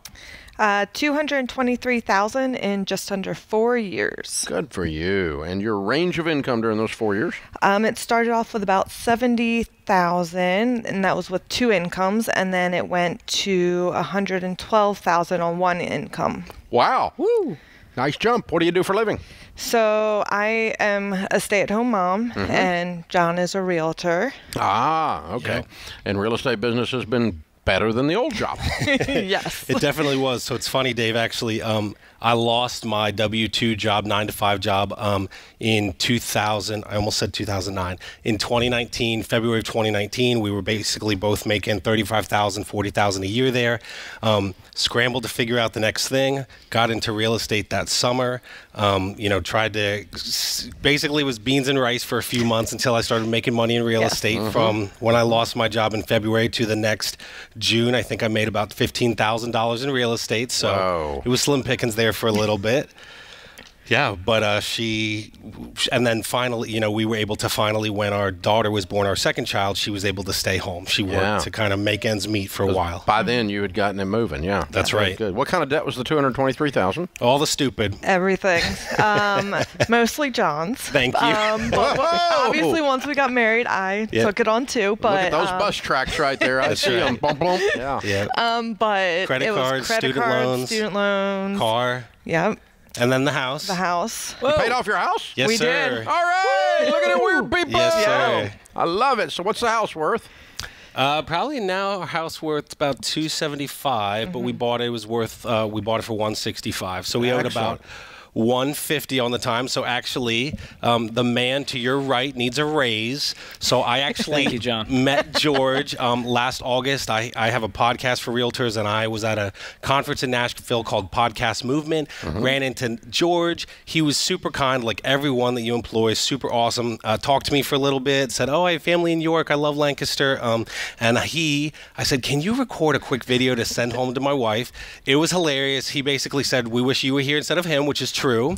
Um, she's the better half. And then he kind of said, you know, talked about his and Whitney's journey and said, I think you guys will pay off your house uh, even faster than you think it was. Our goal was kind of by the time I was 35, and uh, we did it. Uh, yeah, so August I met him, and by June it was paid off. So Wow. So the man needs a raise, Dave. I'm just saying. I didn't know I had that kind of power, That's John. right. You did. So, That's so not only It's amazing. He's a prophet. He I got speaks you life. on board Yeah.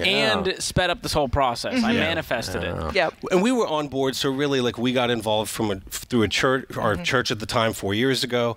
Um, I was not feeling it at first, and then when I wanted to buy a house or buy something, she's like, "Yeah, well, you look at these numbers and tell me how we're going to do that." Yeah, it was.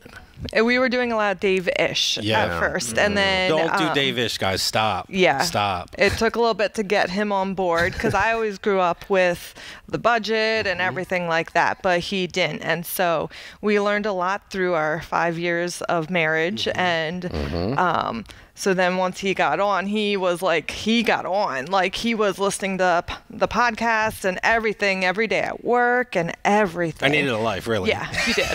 he was a little Love it. obsessed. Well, congratulations, you you so guys. much. How old are you now? 30, 34.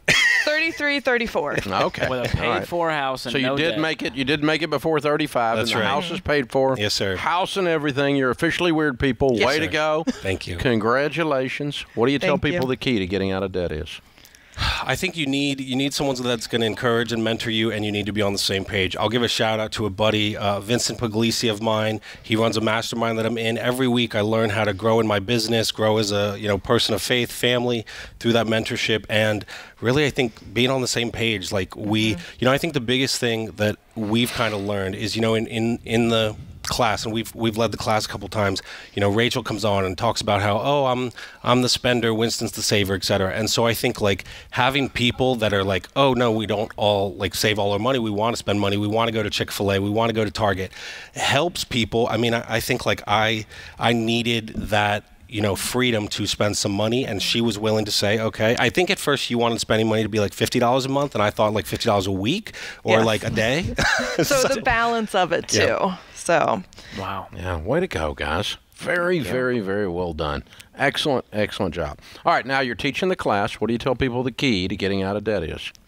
um, budget for one, um, follow it to a T, um, which uh, can be very hard, but don't give up. Um, just keep plugging along. If you mess up, then it's okay. Grace, There's- grace, yes. yep.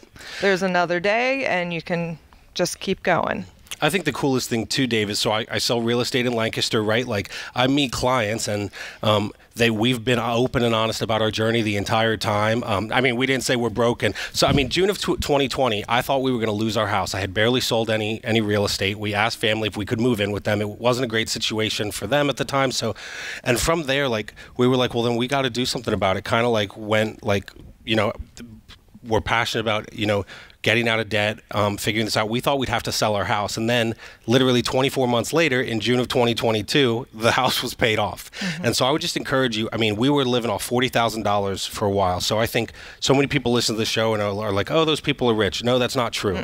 You just got to get on the plan. Maybe you do make $40000 okay so what can you cut in your budget um, to make it work and by the way i love iphones you guys don't need a new iphone every six months i'll just go ahead and say that that hurt but it's true Spoken like a true iPhone. I think you can fill in It for is. us if we're out. Yeah, I love great. this guy. Got the Well, podcast down. I remember his passion from when we met at the podcast movement. And I'm so proud of you guys to see you here today, less than a year later, having done the hard work. Yeah. And went full intensity, not Dave Ish, but all in. it's a you so game much. changer. And and I think George, even I mean, people say all the time on the Facebook channel like how you'll respond to Instagram messages. You always are. I mean, I know you're busy, but I think like even you being willing to do it. I met a great person on your staff, Jeremy, earlier when we were out in the lobby. People on your staff coming down and meeting people. People. I mean. If you guys like what you see from Dave, what you see from George on the show is like real life. I've met him, um, and, and I think like I think that really says a lot about your organization and the people that you hire. I have told her, I apologize to my in-laws, but it'll be when the kids are adults that I want to come work here when all the babies are grown up. Come be part of this uh, life-changing stuff you guys teach. That's Very cool. Well, we would love to have you. You're, you're you're our kind of folks, obviously.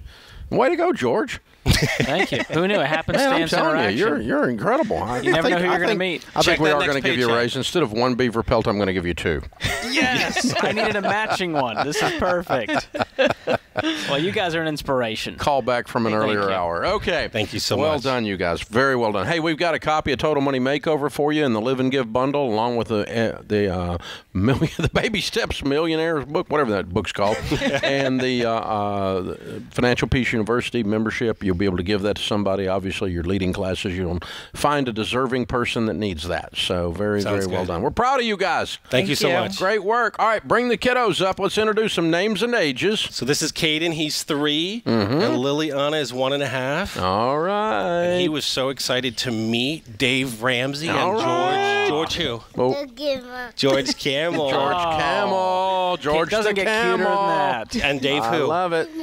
Dave Ramsey. Dave Ramsey. All right. I love it. All right. John and Valerie, Caden and Liliana from Lancaster, Pennsylvania. 223,000 house and everything. Did it in four years, making 70 to 112. Count it down. Let's hear a debt free scream. All right, three, Three, two, two, one. one. We're debt free. Way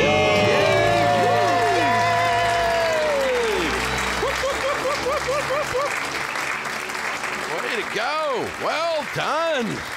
Well done. Man, what a cool couple. Love this. Who says you need a house payment? Not these guys. Not these guys. 34 years old. Mic drop. This is The Ramsey Show.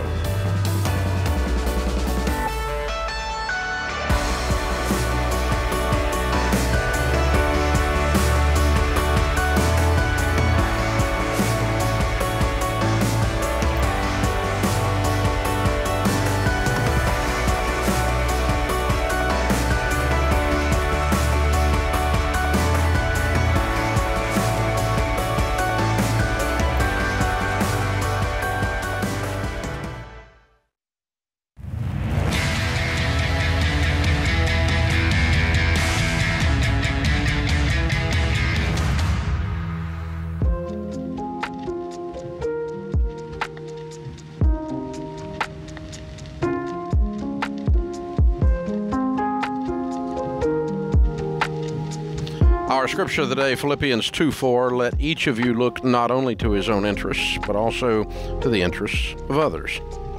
Booker T. Washington said, The happiest people are those who do the most for others.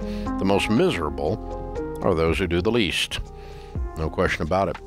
You know who the other happy people are? They're the ones that give. Generous people. It's very difficult to find someone who's outrageously generous who's not also outrageously happy. Mm. There's a correlation You ever, here. you ever seen anybody that was depressed that was generous? Not that I can think of. Doesn't come to mind. Always got a big smile on their face because it's just a lot of fun. So every year we do an annual giving show. We'll be doing it on December 14th in a couple of weeks. If you have a great giving story or receiving story that would inspire others in this whole area of generosity, we need your help. We need to hear your story, and America needs to hear your story, and the world needs to hear your story on this podcast, this YouTube channel, and this radio show.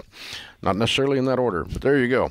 And uh, so, what do you do? Email us at ask at ramseysolutions.com. The email address is ask at ramseysolutions.com. Put giving in the subject line. Put a little bit about your giving or receiving story and why it's inspiring. Team will get back to you and we will set you up to be a caller to tell your story on December the 14th on our special annual giving show. Samantha's in Utah. Hi, Samantha. How are you? Great. How are you, Dave? Better than we deserve. What's up? So I'm getting married. Uh, my fiance and I are getting married in three months, and we are trying to combine our finances and households and everything like that. And um, I'm just looking for some advice as to how to do that. Um, I'm in baby step 3B.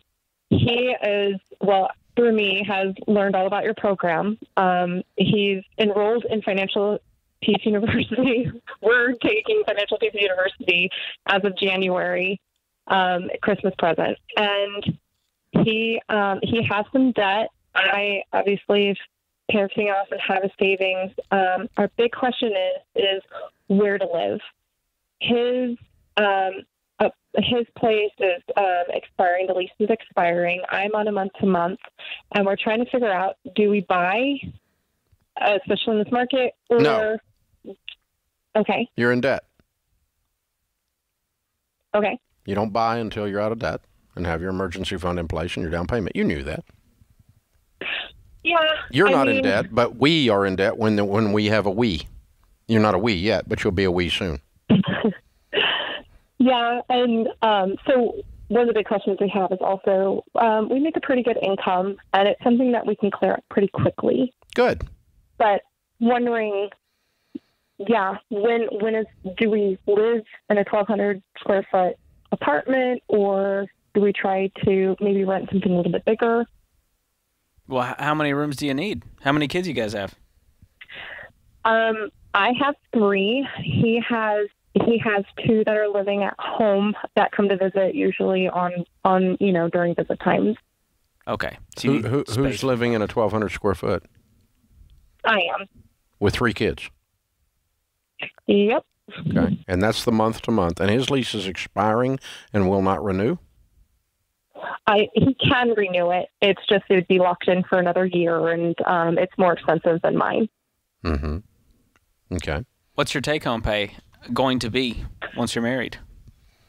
Um, we'll have a combined of about four hundred fifty a year. Whoa. That's good news. Sweet. Yeah. I would go I would go rent something else for 6 months that's nice and that you guys can get settled into and begin to get the um, the kinks worked out of the com- the combining of the households. You will make a better house purchase decision after you have lived together a while and been married a while than you will from just being engaged. You'll probably buy a different Okay. house. You'll probably buy a different house six months after marriage than you would buy before marriage. It's probably true. Um, we were looking at one though, and it looks like that to sort of be able to combine everything together, we're going to jump from about eleven hundred a month to about three thousand a month. So what? You make a you make a half a million dollars a year. So what? Yeah, but I'm a nerd. I know, but it's not. And I'm like, we no, can you're you're not a off so nerd. You're you're a cheap nerd. My kind of people. we love you. We think you're amazing. But yeah, you're you're right. And the point is though, okay, I'm not I'm not signing you up for this for ten years. I'm signing you up for six months. Okay. And uh, make sure it's a six month deal. Okay. Don't don't sign a three year lease. I mean, because you're, eh, you know, get in there, get settled, get the kids used to the rhythm of the other ones visiting on the weekends, all this kind of stuff, and the, the flow of bedrooms and the the the. There's a lot of uh, family dynamic that you guys are going to that, that is going to affect your house purchase. Mm-hmm. And when you actually are living in it versus just perceiving how you think it's going to be, it is going to be a little different. It has to be. I don't think anyone could look at it from the outside and know. I know I couldn't. Yeah. Yeah.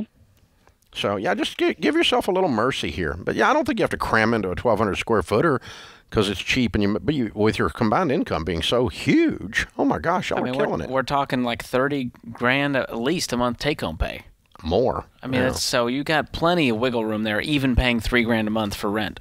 And again, it's just a temporary thing.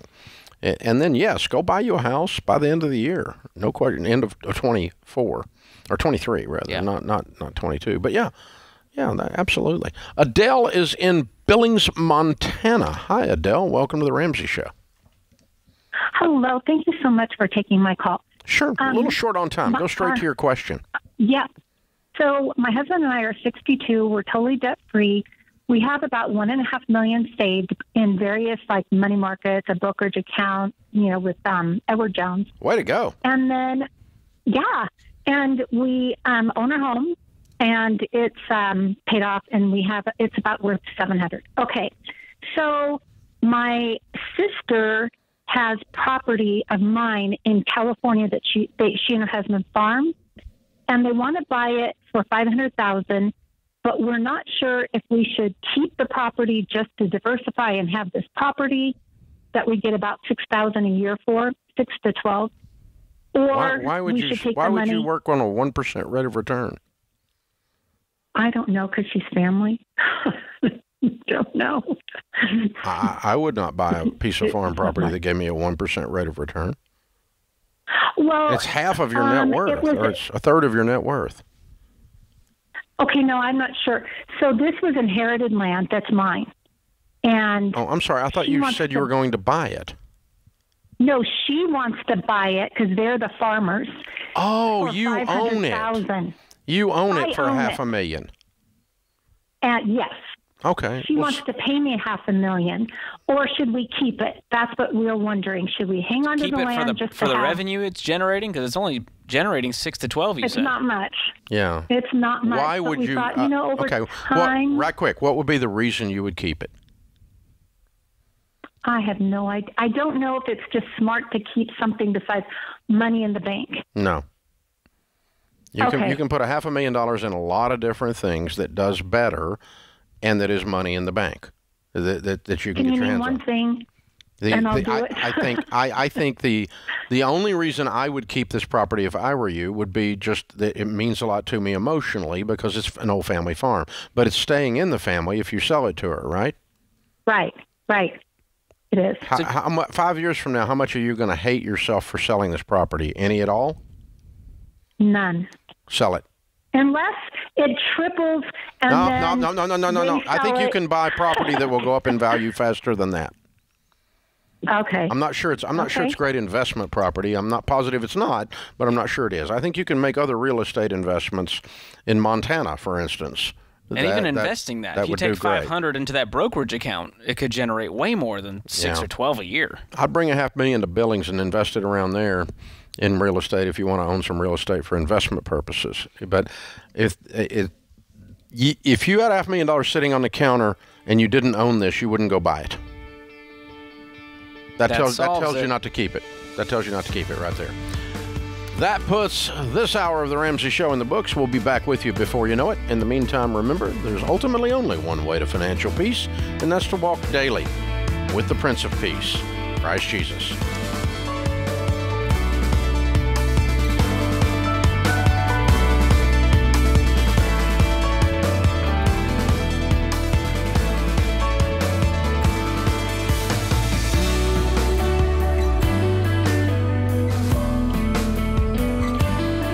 Dave here. You can find all of our shows with the Ramsey Network app on your smartphone. It's the only place to listen to the entire back catalog of episodes.